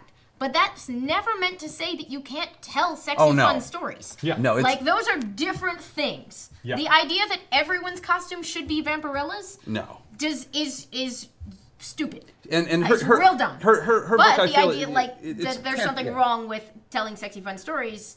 No, it's it's Not at all. it's tantalizing and not and, and only occasionally crosses into salacious, and it doesn't and it Although if doesn't you stay come there. at me with some, she wears it because she wants to. I'm gonna give you a serious look because it's like, by all means, create characters who want to And man, people, I- but don't pretend that you didn't make those decisions. The characters are not sentient. No, and and and and and boy, I love every one of my cosplay friends who like the first time they picked up Vampirella and went challenge fucking accepted. And, like, you know, I like like I, I love like I love challenge accepted, and it's it's a it's a, such an iconic costume in its own way, and I'm so glad they never like I, I, I'm, it's it's of its own time and place beautifully. Speaking of challenge, uh, White Wabbit says, "Question: Can Matt pronounce amaranthine oubliette?" So I, I guess I Can did- you? I, I guess I just amaranthine oubliette. I don't. I love a know good why. oubliette. An oubliette is a good thing. Oubliette is the place at the Ren Fair uh, that I get into the most trouble. We yeah we do Uh, not we do not speak of the oubliette. the Oh. oubliette at Ren Fair. It's a it's a it's the bar at the Okay, Ren Fair for- There's here. a bar called Oubliette. For, for those of you who don't know what, what the Renaissance, Southern California Renaissance Fair oubliette is, uh, it is a bar at the Renaissance Fair where they serve the mixed mead drinks and They are dangerous. bad thing. This is where like this is where you go to die. Yeah. it is not funny. Yeah. Uh, there, I have I have seen I've seen mighty people fall. Which is the bar where they make you like? That's the oubliette. That's the oubliette. Oh, I've been there. Yeah, I've I like there. that. That's as far as we go. is Yeah. They make you. That's the oubliette. Yeah, they, they when they finish pouring, you you put your mouth to the cup and you keep drinking, There are and they certain keep rituals pouring. surrounding Yeah. the serving of drinks at this place. Oh. Yeah, It's it's, rough. a it's a long line and it's well worth it because you only have to wait in line once. It's yeah. If you order two drinks at once, No. Just go you don't home. have to go back. Yeah. Yep. you, you lie down and prepare for the for the headache that will come. Yep. Uh, so uh, let me also ask this: uh, Cakes question: What's the worst horror comic you've ever read? Sorry if this was asked already. Worst. Worst. Like scariest or bad? Well, we can we can go both, I suppose. Yeah. It's a bad horror. See, the, the problem is, I, we probably can't remember the bad ones because if you don't Yeah. make an impression, you have not done yeah, a I suppose job that's with your horror. yeah. Because if you're not scared, horror is hard to do. Horror, like I know people schlock it all the time, but being genuinely scary is really hard. Yeah. Uh, What's funny is uh, the question earlier about your biggest fears. I immediately flashed to like uh, that it's not horror at all. But when we when I read on on one of our watchers' recommendations the recent issue of Green Lanterns where Jessica has the anxiety attack, that was like the first thing that popped into my head because I was like, that was a really was good evocation scary. of a Yeah. thing that Happens. does actually terrify Yeah. me. Um, Although, like the probably my real answer to that question would be like the the human cruelty stuff in Sandman, because if Oh, you have to God. put a book down for seven years, it probably was pretty scary. There's some heavy, heavy So- stuff that It's, happens. and for the in that. record, Seven isn't just horror; it's also fantasy. It's also it's a million different things. It's just really good at horror. Yeah, it hits. It hits. It, it does it very well. So, uh, Sean Bryan 318. A lot of these recommendations are very classic American horror, ghosts, zombies, etc. I absolutely love those, but they don't scare me the same way cosmic horror like H.P. Lovecraft does. Do you have any recommendations for those? I actually want to hear this answer too because cosmic, like, I think if I Side think probably existential horror would probably be what would scare me the most. Like, that's one of the reasons I love H.P. Lovecraft the most. So, like, going back to the question of like, what would scare you? What scares you? And I was like, flying? I don't know. It's the existential horror, like that sort of like we're all meaningless. Well- there is no God, like that kind of stuff. I'm just like, mm, I, I- don't want to consider that. I, That's yeah. like it's an, an indirect connection because this is more drawing on the sort of the like the symbolism and trappings of Lovecraftian horror and less the sort of existence that like this uses kind of the the monsters and the viewpoint of it but isn't exactly about existential horror. This is a a, a Brubaker Phillips book that I highly recommend called Fatale which is about a woman with a unique connection to some of these Lovecraftian uh, forces uh, in different eras of time that was really really lovely. But existential well, I mean, like I will say, I think like especially the Alan Moore Swamp Thing is is a lot of There's a lot of existential horror. Uh, it's the question of humanity and like the fight over whether things have meaning. identity and I, I'm like it like it, it it can get very very heavy in that direction. Um, I'd also like phil- philosophical horror, existentialism, like that kind of stuff. That's where I'm just like my heart Yeah, starts yeah. to beat. You know, the most. I was going to avoid this book this week, but since since they brought it up, uh, Morrison's Animal Man is is the greatest is DC's greatest delving into there is no God, we are alone. Uh, fear, fear the world. Um, it, it- I, I feel like there's a whole nother show I want to do on it, uh, but I'm, I'm learning now not to shy away from it just because. For those of you who don't know Morrison's run on Animal Man, Animal Man is a superhero, is a named Buddy, Buddy, who's his kind of he his power set was that he could gain the powers of any animal he's nearby, but like by powers, like there are birds in the sky, so I can fly. Mm. There's there are lizards, so I can regrow limbs. Like it's really dumb, and he was this really like over schlocky, hard to write because it's just the power set's too weird and too easy and too poorly thought out, and but his other hook was he was the superhero who had a wife and kids and actually mm-hmm. like was like stable. And morrison kind of took him and f- for reasons that he gets into later in kind of a very interesting meta text like i kind of wanted to take this character and pull him apart by the you know like literally like pull him apart by this very core until there was nothing left and watch what happens when you torture a fictional character to death mm-hmm. and kind of does This was also a Vertigo book. Grant Morrison was someone else recruited by Karen Berger. Yeah. And these guys were all sort of trying to one up each other in terms of like doing interesting stuff, and it worked out and real nice. yeah, animal, animal Animal Man actually ends like like in Morrison's done this a couple times since, where he's taken characters and like given them enough agency to recognize that that they're not even really people, that they're they're not complex enough to be people, therefore they're they're small, and it's really. And like there are things I don't want to spoil. There there were moments in the, that book that I had to put it down. Like the the the, the his his he he does he does peyote in in the desert at one point with some friends and uh, I like things happen during Animal that Man does. An Animal Man and like the book happens and at one point I just had to close the book and put it down and walk away. I was so disturbed, like deeply Wow. and fundamentally So, disturbed. I, feel, I gotta, I gotta search my heart because I know I've done that on a couple of occasions, and I should have figured out like what are the books that have made me do the, that. the the, the only st- yeah Game of Thrones, like when I was reading like the Red Wedding, I was like, and no, and I didn't touch it for like six months. I was like, like I kept going and like telling my my now wife Brittany, oh my god, this is the greatest book, you're gonna love it. And then I got to the Red Wedding, I was like, You know "Eh, what's funny? mind, I'm done. Game of Thrones, like it was the first wolf that got me.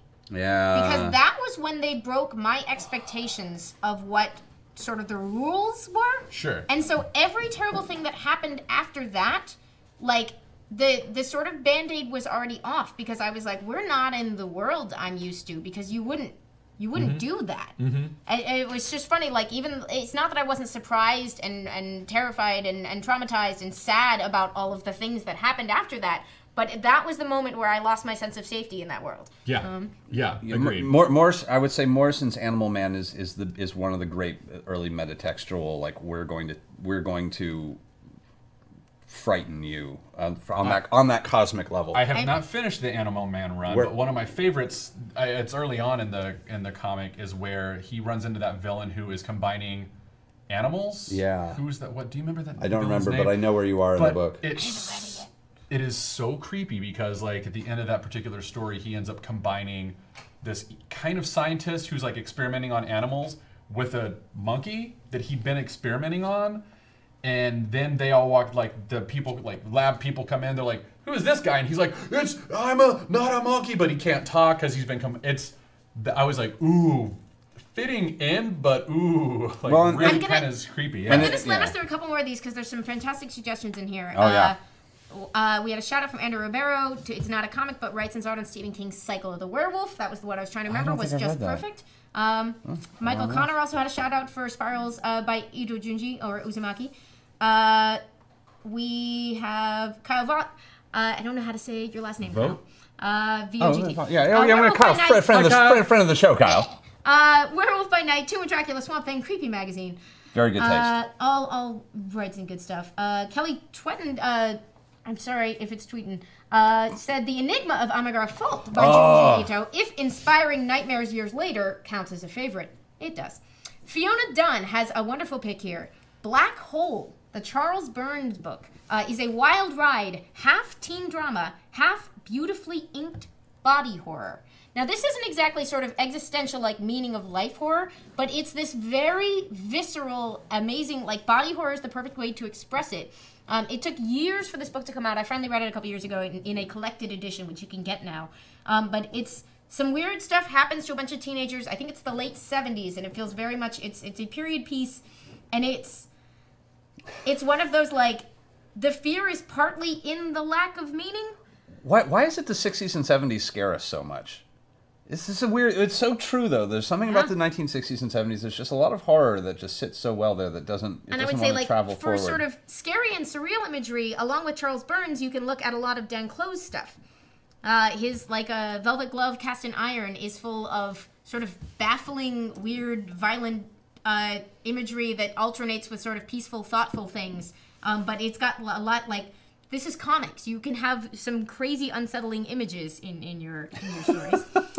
Uh, so your red dog said House of Mystery I read the most, but I read a collection of creepy ones that got me. Uh, Susie Wetzel had said I just started Fatale uh, and Locke and Key, and Oh. I fell in love with both. I've got a couple of those So we questions had in here. a, a shout out for Fatale, which I, I gave a very brief sort of. It's the Brubaker and Phillips are fantastic at crime and mystery and mood and period pieces, and they use a lot of that along with their most like their their only real like horror book is that Fatale, and I highly recommend it. It's self contained. Uh, there's five paperbacks, or I don't know how many hardcovers it makes, but it's a limited run. And then this one, which I Boom. only read the beginning of. This is one of my big blind spots. It is one of the absolute runaway hit horror stories of the last 10 years. I think so. Yeah. Uh, I can't I actually have- see what we're looking at yet. It's Locke and Key. oh, Lock It's and Lock Key. and Okay, Key. you did put Locke and Key up uh, there. Yes. Art by Gabriel Rodriguez. Uh, it's Gabriel, right? Yeah.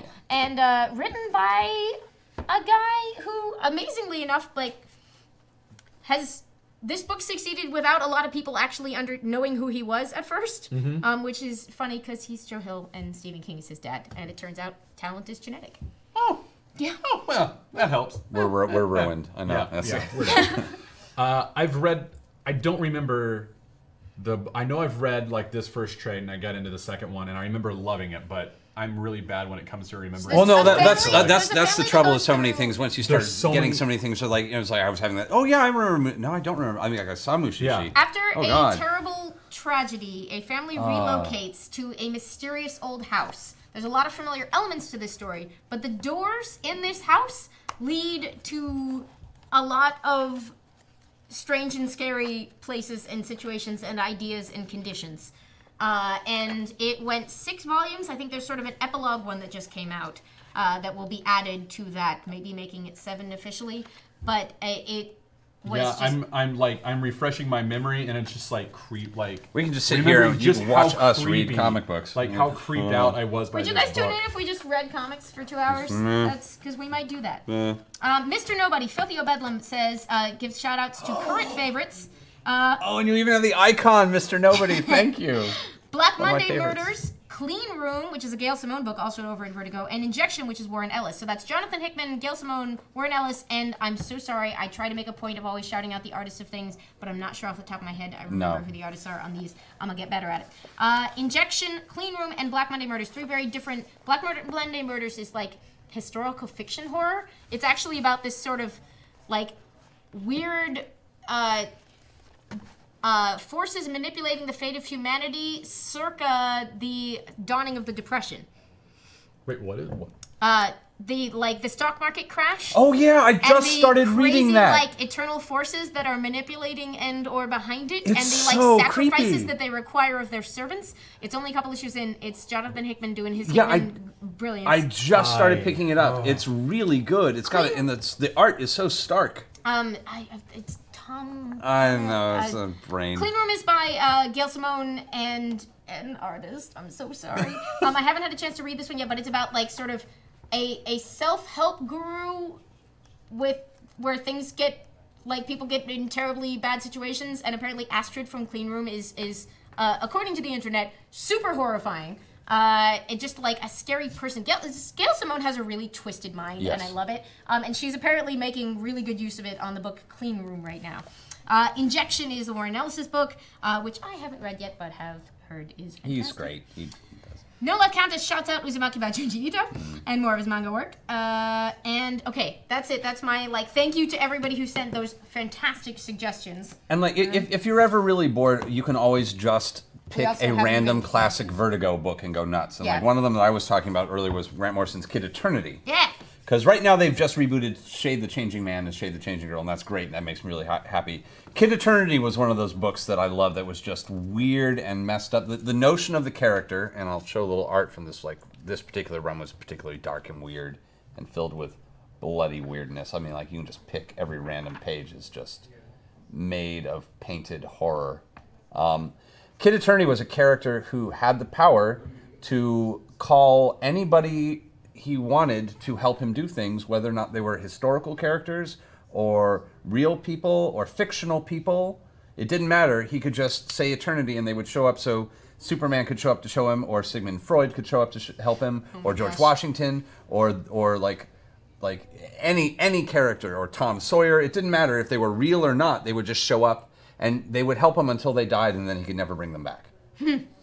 so like he could keep calling them, but if they died while helping him, then they were gone forever. Um, and eventually they got into how and why that worked, and it was kind of a dark, evil layer of like what is. It was one of those things that seems cute and fun and and and happy, and then he starts to scratch the surface of very much like Sandman, that early like like wow, it's such a light and wonderful universe. I don't want to see the things that are holding it up because they're really they must be really dark and awful, and it's mm. it's really oh, it's so good. It's so good. I love our show. I Like I'm the- just like I'm gonna go read all of these tonight. The only other thing I added, I, I grabbed this just because we we've been sort of ignoring the like. Yeah, there's a lot of big names in the sort of horror area. Oh, Obviously, that book. Walking Dead is, is, is about Never surviving of it. in man's never heard of it. inhumanity to man as much as it is anything else. Um, but I'm also going to give a little shout out to Echoes, which is a serial killer story uh, that Joshua Fialkov, uh, who's a buddy, did with Rahsan Ekedal, um, which super creeped me out. Good job with that.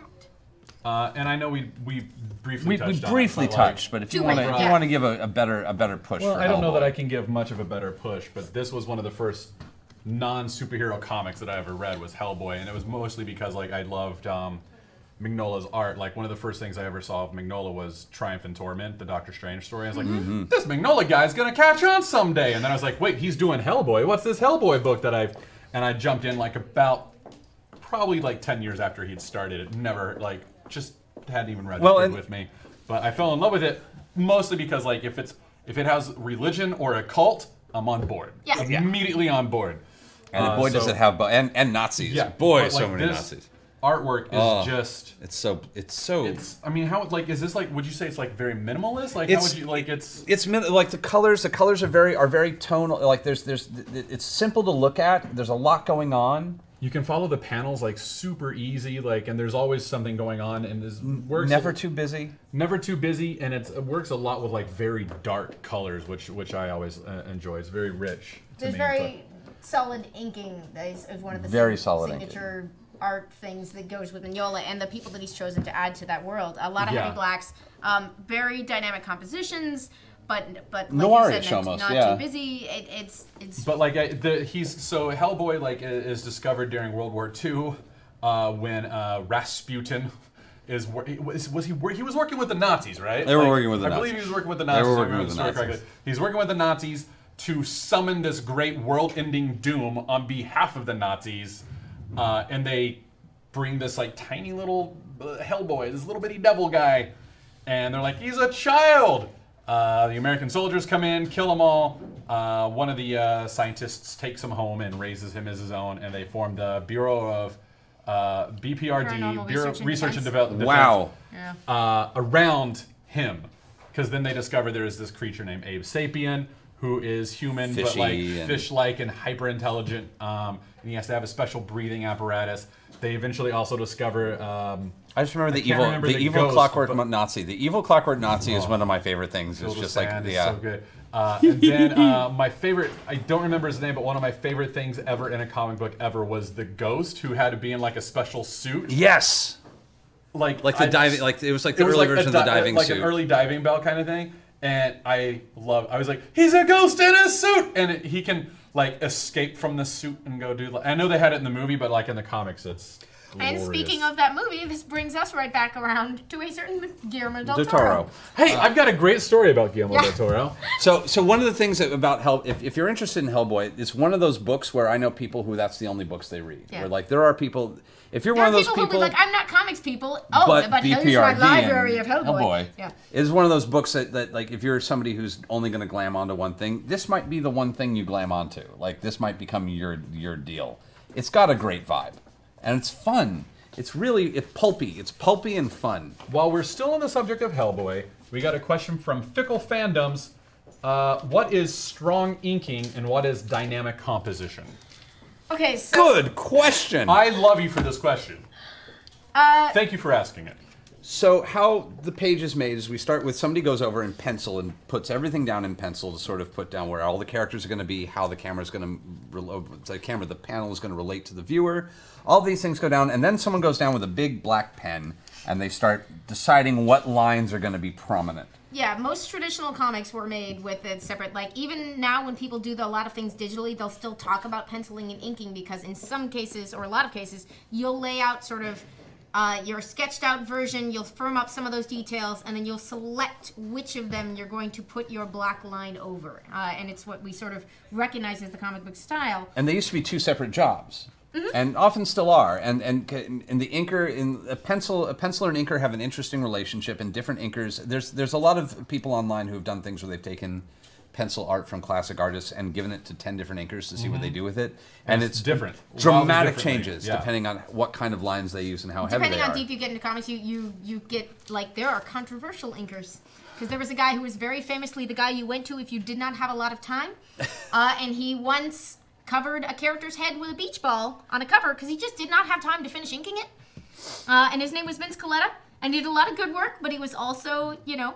Uh, I think they, they made a book on him called The Thin Black Line, um, which was the like Oh, it's wow. all about So Vince good. Colletta and his complicated history as an inker, where like it's not that dude's fault if you had 35 seconds to get something like inked Yeah. and and You got it but, done. But you know, he literally put a beach ball in someone's head once, Do you- do you or want- like in front of, some figures at it. This- do you want it right or do you want it Wednesday? He was Yeah. the I want it Wednesday. Done. All right.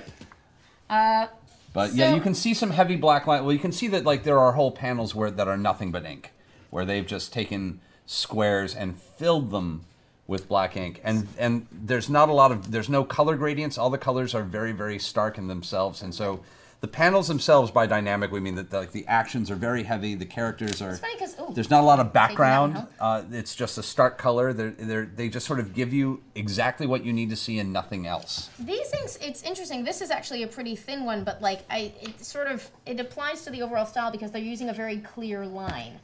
Uh, where we can go uh, like all of it there's nice so many other things Examples here. i was about to say Um, sandman is made Sandman of it. is is again heavy inks. Uh, there The blacks are very very uh, clear. You get painter painterly styles where they minimize this effect. But it's it's very good, especially for horror books. There's a reason I'm finding a lot of heavy blacks uh, on, on today's in poll these, but like the, that's a um, painted style that doesn't have any inking painted at all style. So a departure from that. Uh, or, or if we pull up a Harrow County, there's like that. about to say. Harrow County's while it's a thick black line, it's not heavily inked. Like you can see where, where they like leave a more animated vibe, where, where you just have a a line differentiating the character from the background, and everything else is just sort of brushed in. And I will shout out composition wise, uh, something that you'll notice on. I opened to a random page of Hellboy uh, and found like the action in this panel is very clear. There's movement from one side to the other. Your eye moves in a certain way when you see a panel like this. Uh, it travels down in this direction and focuses in here, and it's sort of.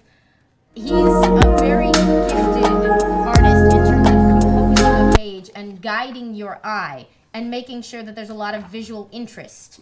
Uh, and that's sort of But also, like a, another part of composition is making sure that the proper amount of visual information is in there. That was like one of the things that made Kirby so good at composition was he could squeeze So much. so many characters into one panel, give them all like a different plane of existence, and all doing like various motions, and all of them very like determined. Like We're could see it. we're gonna do at some point in the near future. This is actually one of the shows that I'm developing right now, really strongly. Is a how to read comics episode of the Wednesday Club, where we're going to actually talk about.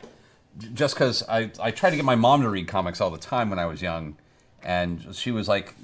Uh, I mean, like she was definitely into it, but there was like there, there were questions that she needed answered that I didn't know how to answer Yeah. correctly yet. See, this one has very. It's, Harrow County also uses pretty strong inks. Uh, Yeah, well, it's hard. I Uh, think we're- they alternate back and forth depending on the needs of that Yeah. particular story beat. You know, so I know that I know uh, that we, have to We need to start wrapping. Oh, up. start so- wrapping up because we're running out of Yeah. time. Uh, let me throw out. Uh, we uh, Paper Girls actually gave me nightmares last week. I hadn't had a book do that since uh, uh, Sphere in middle school. That came from uh, Nice. Half that is Faring Half Faring Circus. the Brian K. Vaughan, Cliff Chiang book Paper Girls Paper is going on right now and it's absolutely fantastic. It's a- Alan, yeah, great way to- Alan to Moore deal with and Stranger Neonomic- Things.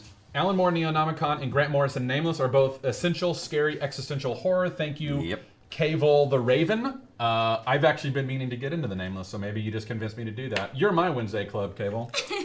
Uh, and uh, Fickle Fandoms once more says, answer to your question, if you do the How to Read a Comic Book episode, it can double as your excuse to just sit there and read comics for the entire episode. Like this.